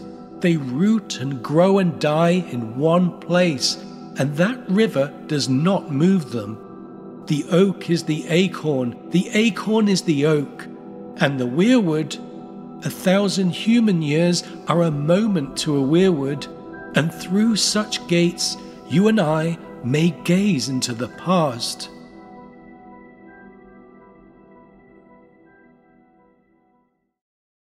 Not content with a world inhabited by iconic characters and species, George found room in his story for iconic trees. The weirwood trees of A Song of Ice and Fire are as important and recognizable as the dragons, the others, or the children of the forest. They are magical, central to the worship of the old gods, and carry important historical information that George would struggle to convey otherwise. In his initial setup, George chooses the second proper chapter of A Game of Thrones to give them a detailed introduction when Catelyn finds Ned in the Winterfell Godswood, in a contemplative mood after beheading a Night's Watch deserter. We get this early description of the heart tree there. At the centre of the grove, an ancient weirwood brooded over a small pool where the waters were black and cold. The heart tree, Ned called it. The weirwood's bark was white as bone, its leaves dark red like a thousand blood stained hands. A face had been carved in the trunk of the great tree, its features long and melancholy, the deep cut eyes red with dried sap and strangely watchful. They were old, those eyes, older than Winterfell itself. They had seen Brandon the Builder set the first stone, if the tales were true. They had watched the castle's granite walls rise around them. It was said that the children of the forest had carved the faces in the trees during the dawn centuries before the coming of the first men across the narrow sea. So, with the leaves described like hands and bark like bone and faces carved into their trunks, we can see that from the outset, George is personifying the weirwood trees, giving them human characteristics at every opportunity.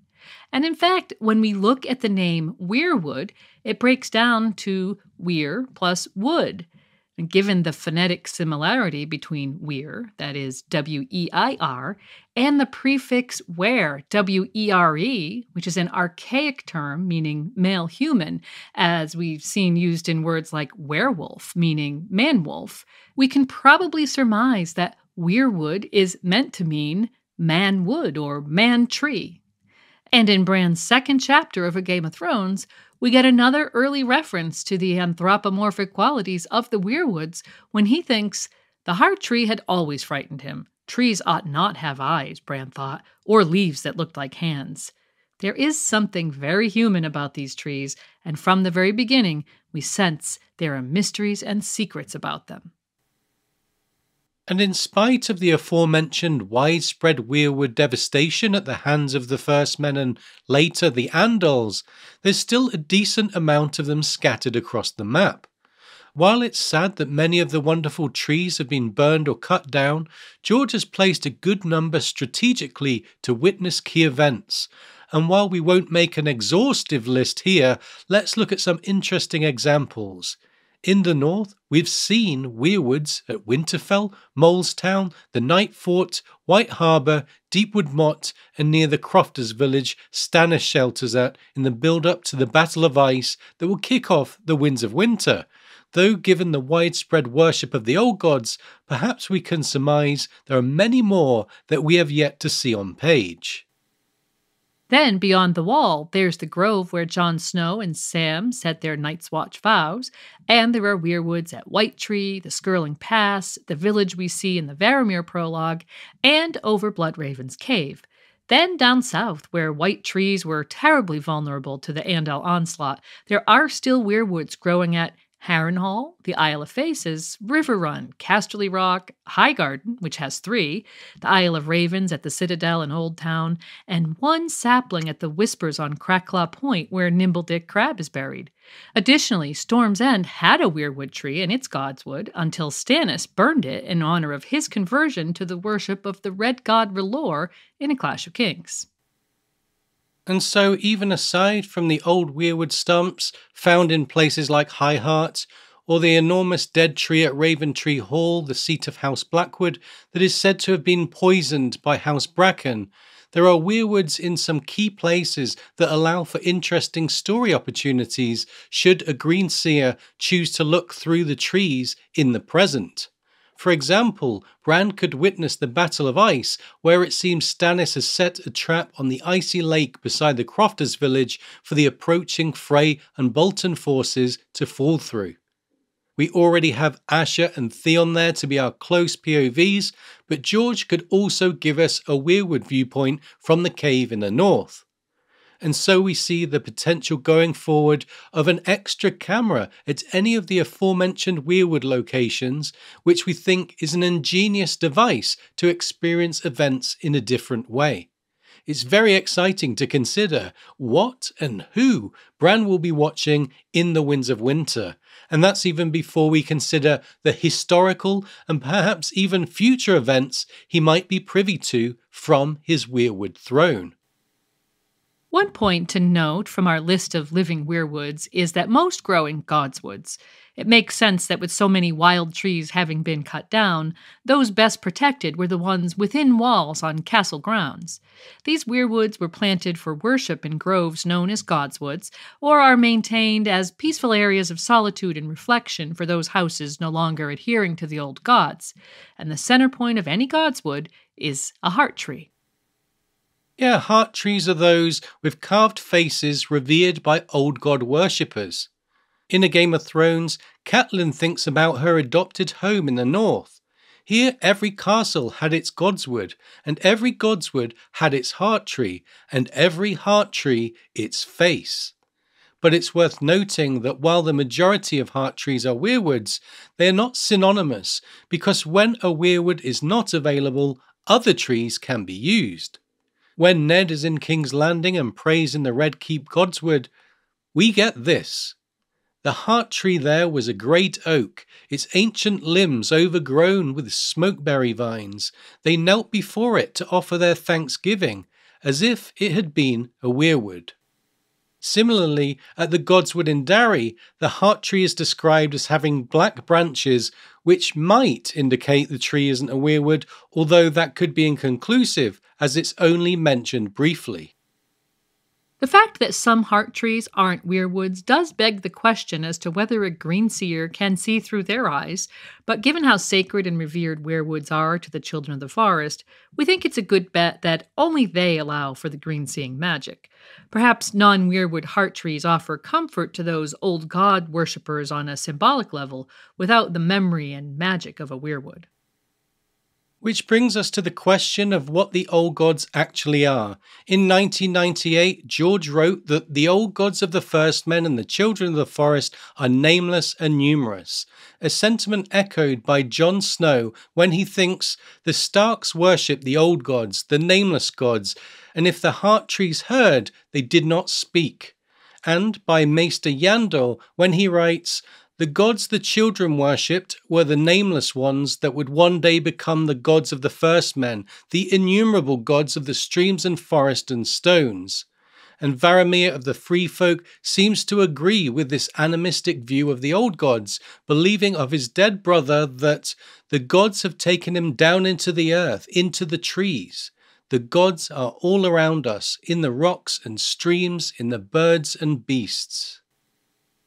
Yet the old gods being everywhere might allude to something more than traditional animism, because we learn that the children of the forest actually equate weirwoods to the old gods.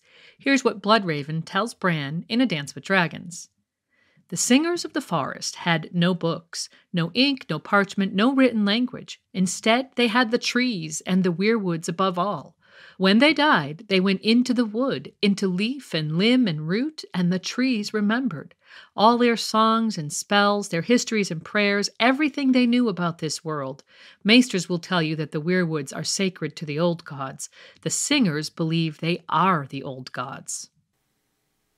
And so, if skin changers can see through the eyes of animals, and greenseers can see through weirwoods, and as Bloodraven mentions, even beyond the trees, that means there could be someone watching everything you do. Just as some Christians believe God is an all seeing deity, in George's world, greenseers could potentially hold the same power.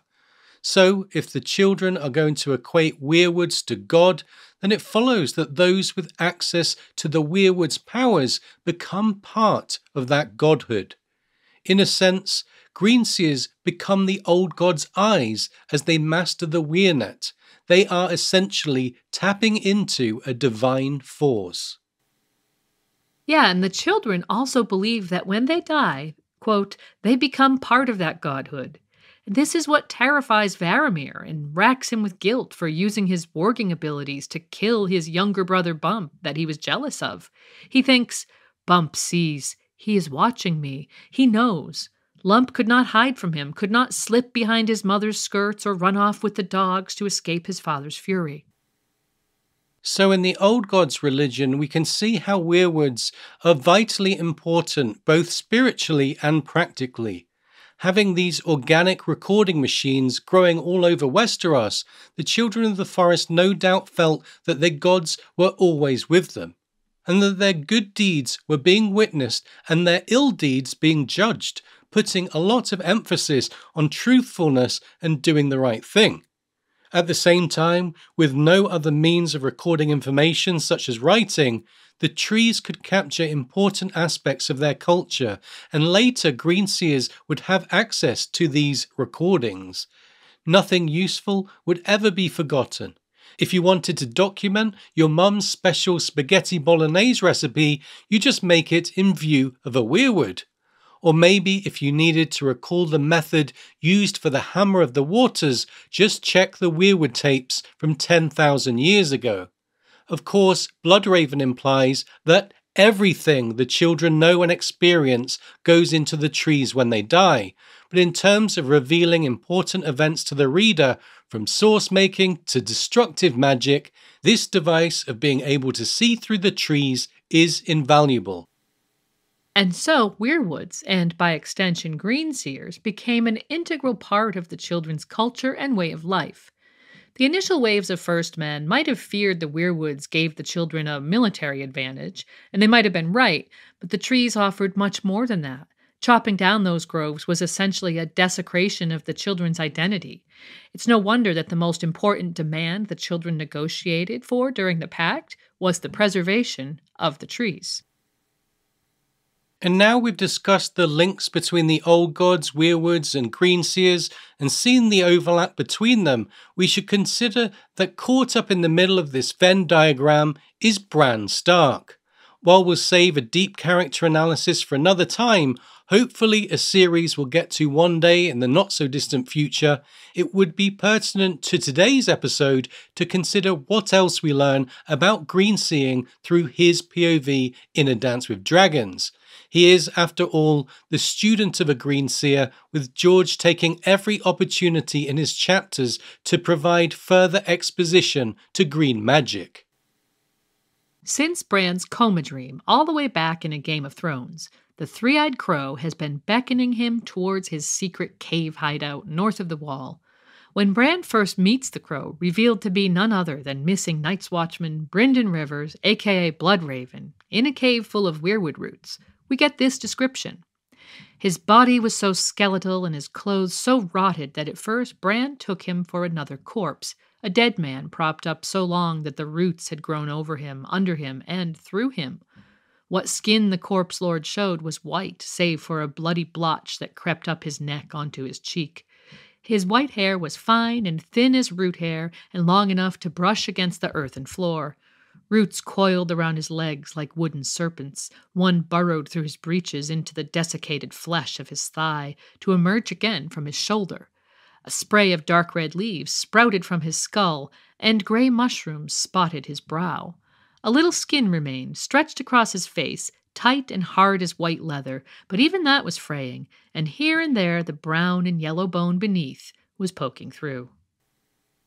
Given that Bloodraven was born in 175 AC, 125 years before the start of the story, it's safe to conclude that this weirwood entanglement has lengthened his lifespan, providing him with enough sustenance to live on, physically part of the Weirnet. Given the fact that a healthy weirwood left alone never dies, it begs the question about whether greenseers could achieve a form of immortality as well as omniscience, as we mentioned when discussing the green men on the Isle of Faces. And when Bran asks Bloodraven if the Greenseers are the equivalent of wizards to the children of the forest, his mentor replies, In a sense, those you call the children of the forest have eyes as golden as the sun, but once in a great while one is born amongst them with eyes as red as blood or green as the moss on a tree in the heart of the forest. By these signs do the gods mark those they have chosen to receive the gift. The chosen ones are not robust, and their quick years upon the earth are few, for every song must have its balance. But once inside the wood, they linger long indeed. A thousand eyes, a hundred skins, wisdom deep as the roots of ancient trees. Greenseers.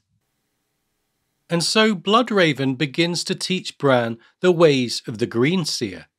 To accelerate the journey, Bran is put on a curious diet of weirwood paste. Here's the passage. It is time, Lord Brynden said.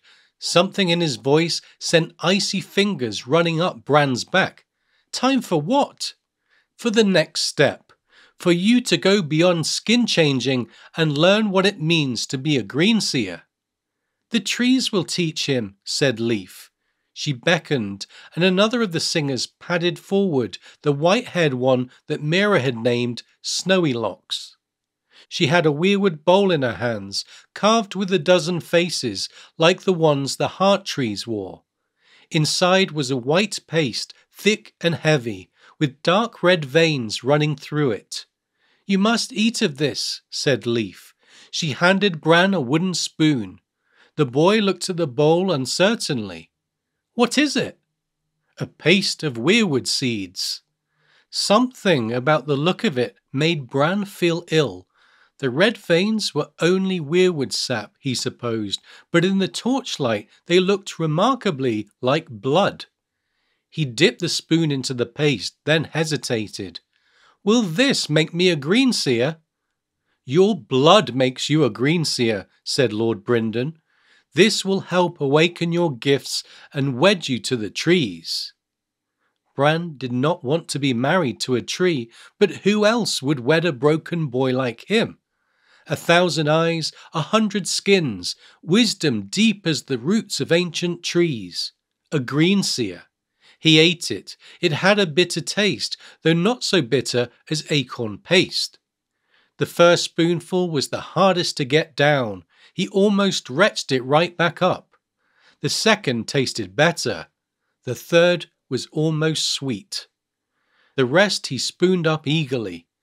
Why had he thought that it was bitter? It tasted of honey, of new fallen snow, of pepper and cinnamon, and the last kiss his mother ever gave him. The empty bowl slipped from his fingers and clattered on the cavern floor. I don't feel any different. What happens next? Leaf touched his hands. The trees will teach you. The trees remember.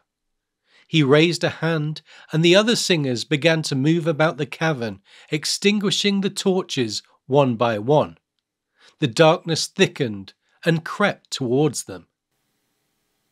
And with the strange description of the veins within the white weirwood paste looking like blood, Some fans wonder if this paste might actually contain some of Jojen Reed's actual blood.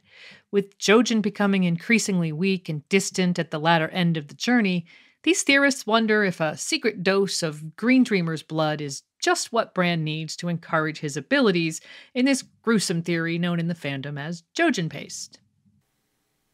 However, this isn't the first time Weirwood sap has been described as blood like. We're told several times that the Weirwood's carved eyes leak sap looking like red tears. At the Crofters' village in the north, Asha Greyjoy looks at the Weirwood and thinks it is only sap, she'd told herself, the red sap that flows inside these Weirwoods. But her eyes were unconvinced. Seeing was believing, and what they saw was frozen blood. In light of which, it's interesting when, having consumed his paste, Bran finally begins to tap into the Weirnet and witnesses this vision through the Winterfell heart tree from a bygone era. It says, Then as he watched, a bearded man forced a captive down onto his knees before the heart tree. A white haired woman stepped toward them through a drift of dark red leaves, a bronze sickle in her hand. No, said Bran, no, don't. But they could not hear him, no more than his father had. The woman grabbed the captive by the hair, hooked the sickle round his throat, and slashed. And through the mist of centuries, the broken boy could only watch as the man's feet drummed against the earth. But as his life flowed out of him in a red tide, Brandon Stark could taste the blood. And this is not the only evidence of blood sacrifices being made to weirwoods. There's mention in the World Book of the children of the forest sacrificing to the old gods on the Isle of Faces. And when Davos Seaworth is imprisoned in the wolf's den, the old jailer Sir Bartimus tells him that Brandon Ice Eyes Stark once hung the entrails of slavers from the branches of the weirwood there as an offering to the old gods.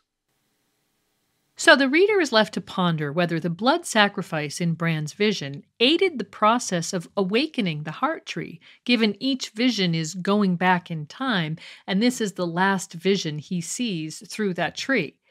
Could this be the grim truth of the Weirwoods? Do they need a dose of sacrificial blood in their roots to come alive? Is there another layer to the personification of these trees? Certainly, that could explain the bloody quality to the red sap.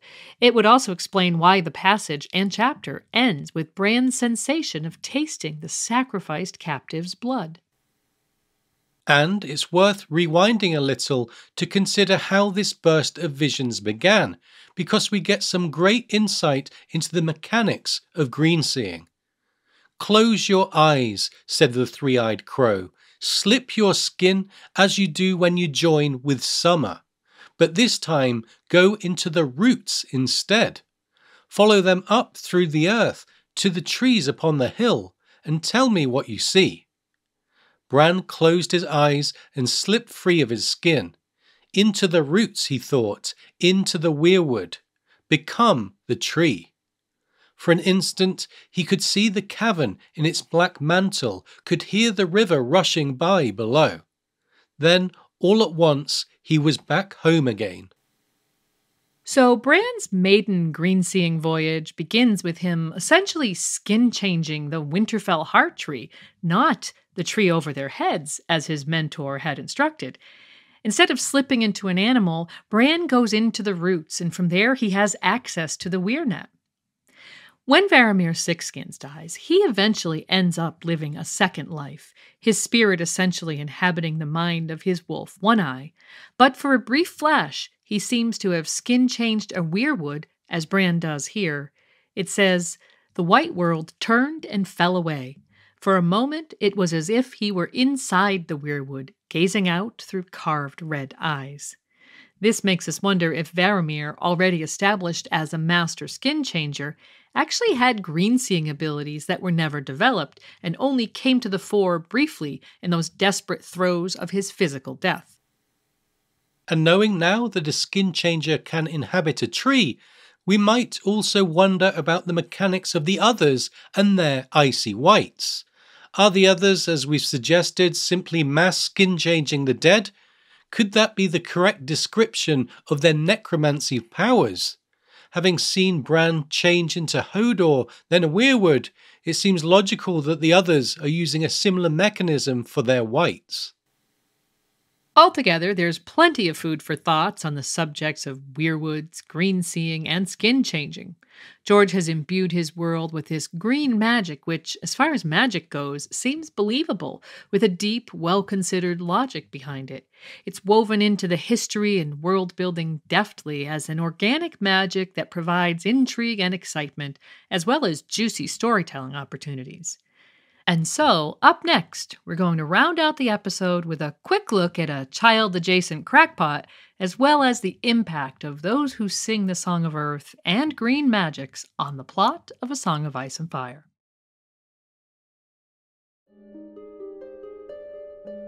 You will never walk again, the three eyed crow had promised, but you will fly. Sometimes the sound of song would drift up from some place far below the children of the forest, old Nan would have called the singers. But those who sing the Song of Earth was their own name for themselves, in the true tongue that no human man could speak. The ravens could speak it, though. Their small black eyes were full of secrets, and they would caw at him and peck at his skin when they heard the songs.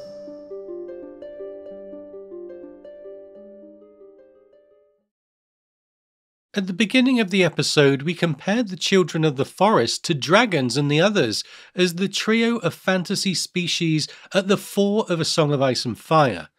While we see the others in the opening chapter of the first book and dragons in the closing chapter, it's not until A Dance with Dragons that we actually see the children. So, why are we suggesting they have a similar effect on the story with their icy and fiery counterparts? To begin with, let's take a look at the children of the forest in the current story and eventually assess their impact. We'll start with that cave in the far north, where there are at least 60 singers dedicated to serving Bloodraven, who they think of as the last Greenseer. It's important to note, however, that while Bloodraven may be the last, he's not the only Greenseer, as Bran discovers when he goes adventuring in Hodor's body. It says, he even crossed the slender stone bridge that arched over the abyss and discovered more passages and chambers on the far side. One was full of singers, enthroned like Brynden in nests of weirwood roots that wove through and under and around their bodies. Most of them looked dead to him, but as he crossed in front of them, their eyes would open and follow the light of his torch, and one of them opened and closed a wrinkled mouth as if he were trying to speak. So, a room full of inconceivably ancient greenseers whose life forces seem to be slowly being absorbed by the trees certainly adds to the total of singers in that location. We've mentioned Leaf, the one we get the most information about, and who is the only singer in the cave who can speak the common tongue, making it easier for George to convey personal details. Leaf tells Meera how and why she came to learn their language and fills in some additional details about herself and the life expectancy of her people.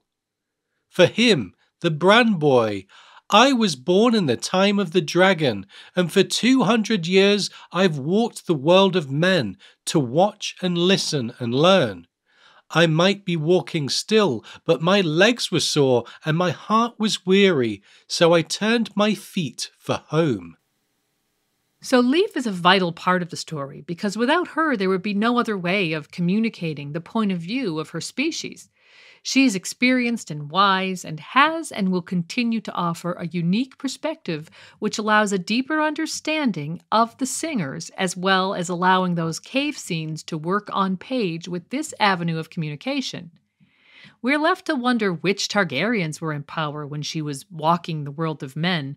Around 200 years ago, we're looking at Jaehaerys, with House Targaryen still being in its dragon riding age. Isn't it exciting to know that there was a child of the forest watching and experiencing the human world somewhere? It'd be interesting to know what she got up to and where she went, and we hope for some insight and anecdotes in the Winds of Winter. Yeah, we're dying to know more, but as we mentioned, Leaf has companions. It says the caves were home to more than three score living singers. and while they might not have the worldly experience Leaf has and can't articulate themselves in the common tongue, we should not forget them. Of course, we don't even know their real names because, as Leaf points out, all the names, including her own, are too long for humans to understand, and so Bran and Meera have to get creative. First, there's Snowy Locks, who serves the weirwood paste to Bran in this passage. She beckoned, and another of the singers padded forward, the white haired one that Meera had named Snowy Locks. She had a weirwood bowl in her hands, carved with a dozen faces, like the ones the heart trees wore. Then there's Black Knife, whose nickname is surely a reference to the obsidian blades the children are known to use, and among the dozens of others, there are three they nickname Coals, Ash, and Scales. Like we said, Leaf seems to be the most significant here, but who knows what will happen in the cave going forward, and so there's every chance that these currently peripheral characters will have a role to play in the plot. And there's one other character we discussed earlier who might be related to the Children of the Forest. We presented the case for the ghost of High Heart being a hybrid child slash human, and if that's the case, it's interesting to consider the monumental mark she's left on this story. Yeah, in A Dance with Dragons, Sir Barristan tries to educate Daenerys on her family history and tells her, I saw your father and your mother wed as well. Forgive me, but there was no fondness there, and the realm paid dearly for that, my queen. Why did they wed if they did not love each other? Your grandsire commanded it. A woods witch had told him that the prince that was promised would be born of their line. A woods witch. Dany was astonished. She came to court with Jenny of Oldstones, a stunted thing, grotesque to look upon. A dwarf, most people said, though dear to Lady Jenny, who always claimed that she was one of the children of the forest. So, Jenny of Oldstones was clearly of the opinion that her dear friend was related to the children, perhaps one of the biggest clues in support of this notion.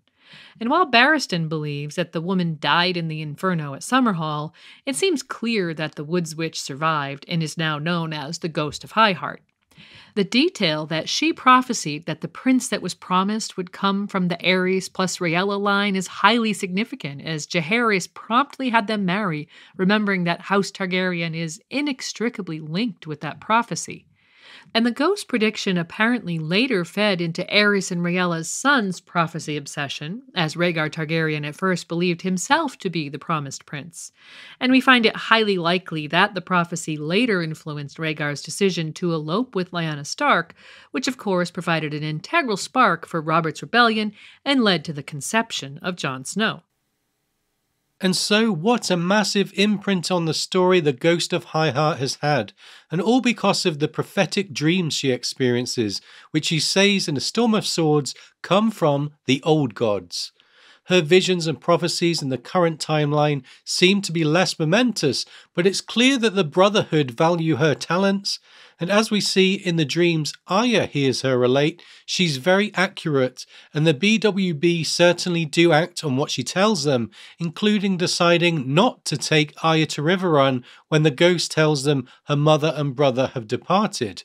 That leads to Arya running away, being caught by Sandor Clegane, and eventually leaving Westeros altogether, the next necessary step in her own destiny directly influenced by the ghost's dreaming. And on the subject of her origins, we can't help thinking of Leaf's comments that, quote, for 200 years I walked the world of men. Could it be possible that Leaf is, in fact, the ghost of High Heart's mother? Given our discussion on interbreeding and magical bloodlines, could Leaf have mated with a human? And to take this theorizing a step further into crackpot territory, noting that both Bloodraven and the Ghost of High Heart are both albinos with distinctive white skin and hair and red eyes, could Bloodraven be her father? Perhaps he encountered Leaf while she was walking in the world of men and he was undergoing his own journey of learning the art of green seeing. This might explain the ghost's location relatively close to the Blackwood lands of Brynden Rivers' first men maternal family, as well as why he later sought out the cave in the far north where Leaf had retreated when her legs were sore and her heart weary. and there's always the possibility that they acted according to some glimpse of the future and were attempting to fulfill the expectations of destiny. Well, that's a lot of crackpot to take in. And although we're not necessarily sold on any of this, these are interesting ideas floating around the fandom which we'll leave for you to evaluate. Regardless of these crackpots, it's easy to see how the ghost of High Heart, as an odd character who rolls in and out of the plot, has actually left this massive imprint on the story.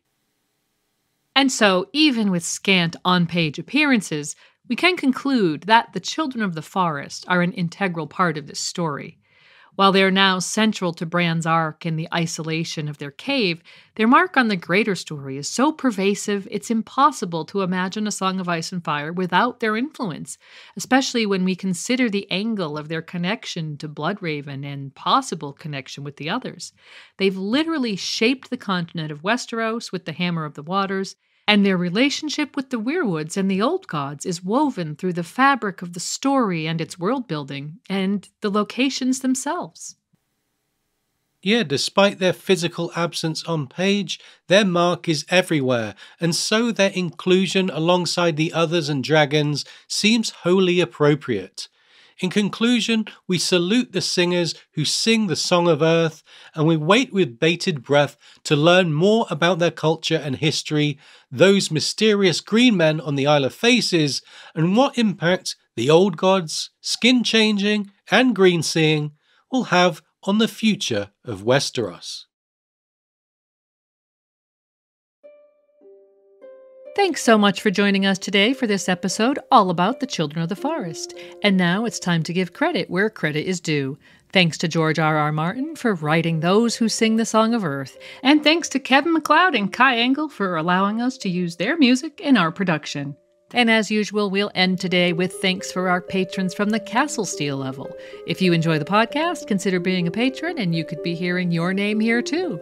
Our heartfelt thanks to Atori Loon, AJ, Aegon VI, Alex, Ali B, Ali C, Ashanat Yara, Oakenfist, Brand the Builder, Brian, Camille, Casey, Charitable Rereadings, Chris, Christian, Maddie and Jessica, Sir Clint the Andal, Sir Duncan Cole, Convenience or Death, Courtney, David, Dimitri B., Dennis, Lady Diana Dane, Esme, Liz, Emily of the Eyrie, Evan, Ezra, Felix, Sir Gage, Armorer of Castle Greyguard, Sir Gladworth, Sir Gregor the Toasty, Lord of the Breadfort, History of Westeros, Isaac, Jim McGeehan, Winter's King, John Aris, Rider of the Ice Dragon, Cenarion the White Storm, Julie Beth Tarth, Judson, Archmaester June, Healer of the Lesser Poxes, Katie, Lady Kelly, Mistress of the Old Bay of Crabs, Tree Girl, Sir Galahoo of What, Lena Snow, known as the Twilight Star, Lemba, Lomas Night Rider, survivor of the Yeen sleepover, Nessie the Questing Beast, Mage Marmot, Monero Geek TV, Maria, Margareta, and our cohort of Matts Matt A, Matt C, Matt K, Matt L, Matt M, Matt R, as well as Beatrix Rainfall, Maester Mary, Anime Lover Nicole, Nimble Nick One Iric, Patrick, Peter Pebble, PJ, Paul B, Paul H, Peter, King Ray, first of his name, Richard, Sam, Sarah, Sean, Sir Swift, the peppered knight from the House of Black and Grey, Sheila, Cern, that shiny bastard, the rat chef de cuisine, Terry, Sir Terence, Knight of the Cedars, Hema Helmet, the Sellsword Sentinel, Valen Valentine, Maiden of the Black Frost, Qhorin Halfhand, and Yvonne. As always, let us know if I've pronounced any of your names wrong, if you have a nickname you'd prefer to use, or if you feel we've left anything out. Visit RadioWesteros.com for quick access to all our podcasts. You can also find a link to our Patreon campaign, donate via PayPal or Ko-fi, and comment on our content there, or find us on YouTube, Apple Podcasts, Spotify, or wherever you find your podcasts. And of course, you can connect with us via Twitter, Facebook, Instagram, or email. Thanks again for joining us. We'll see you soon with a new episode. Bye for now.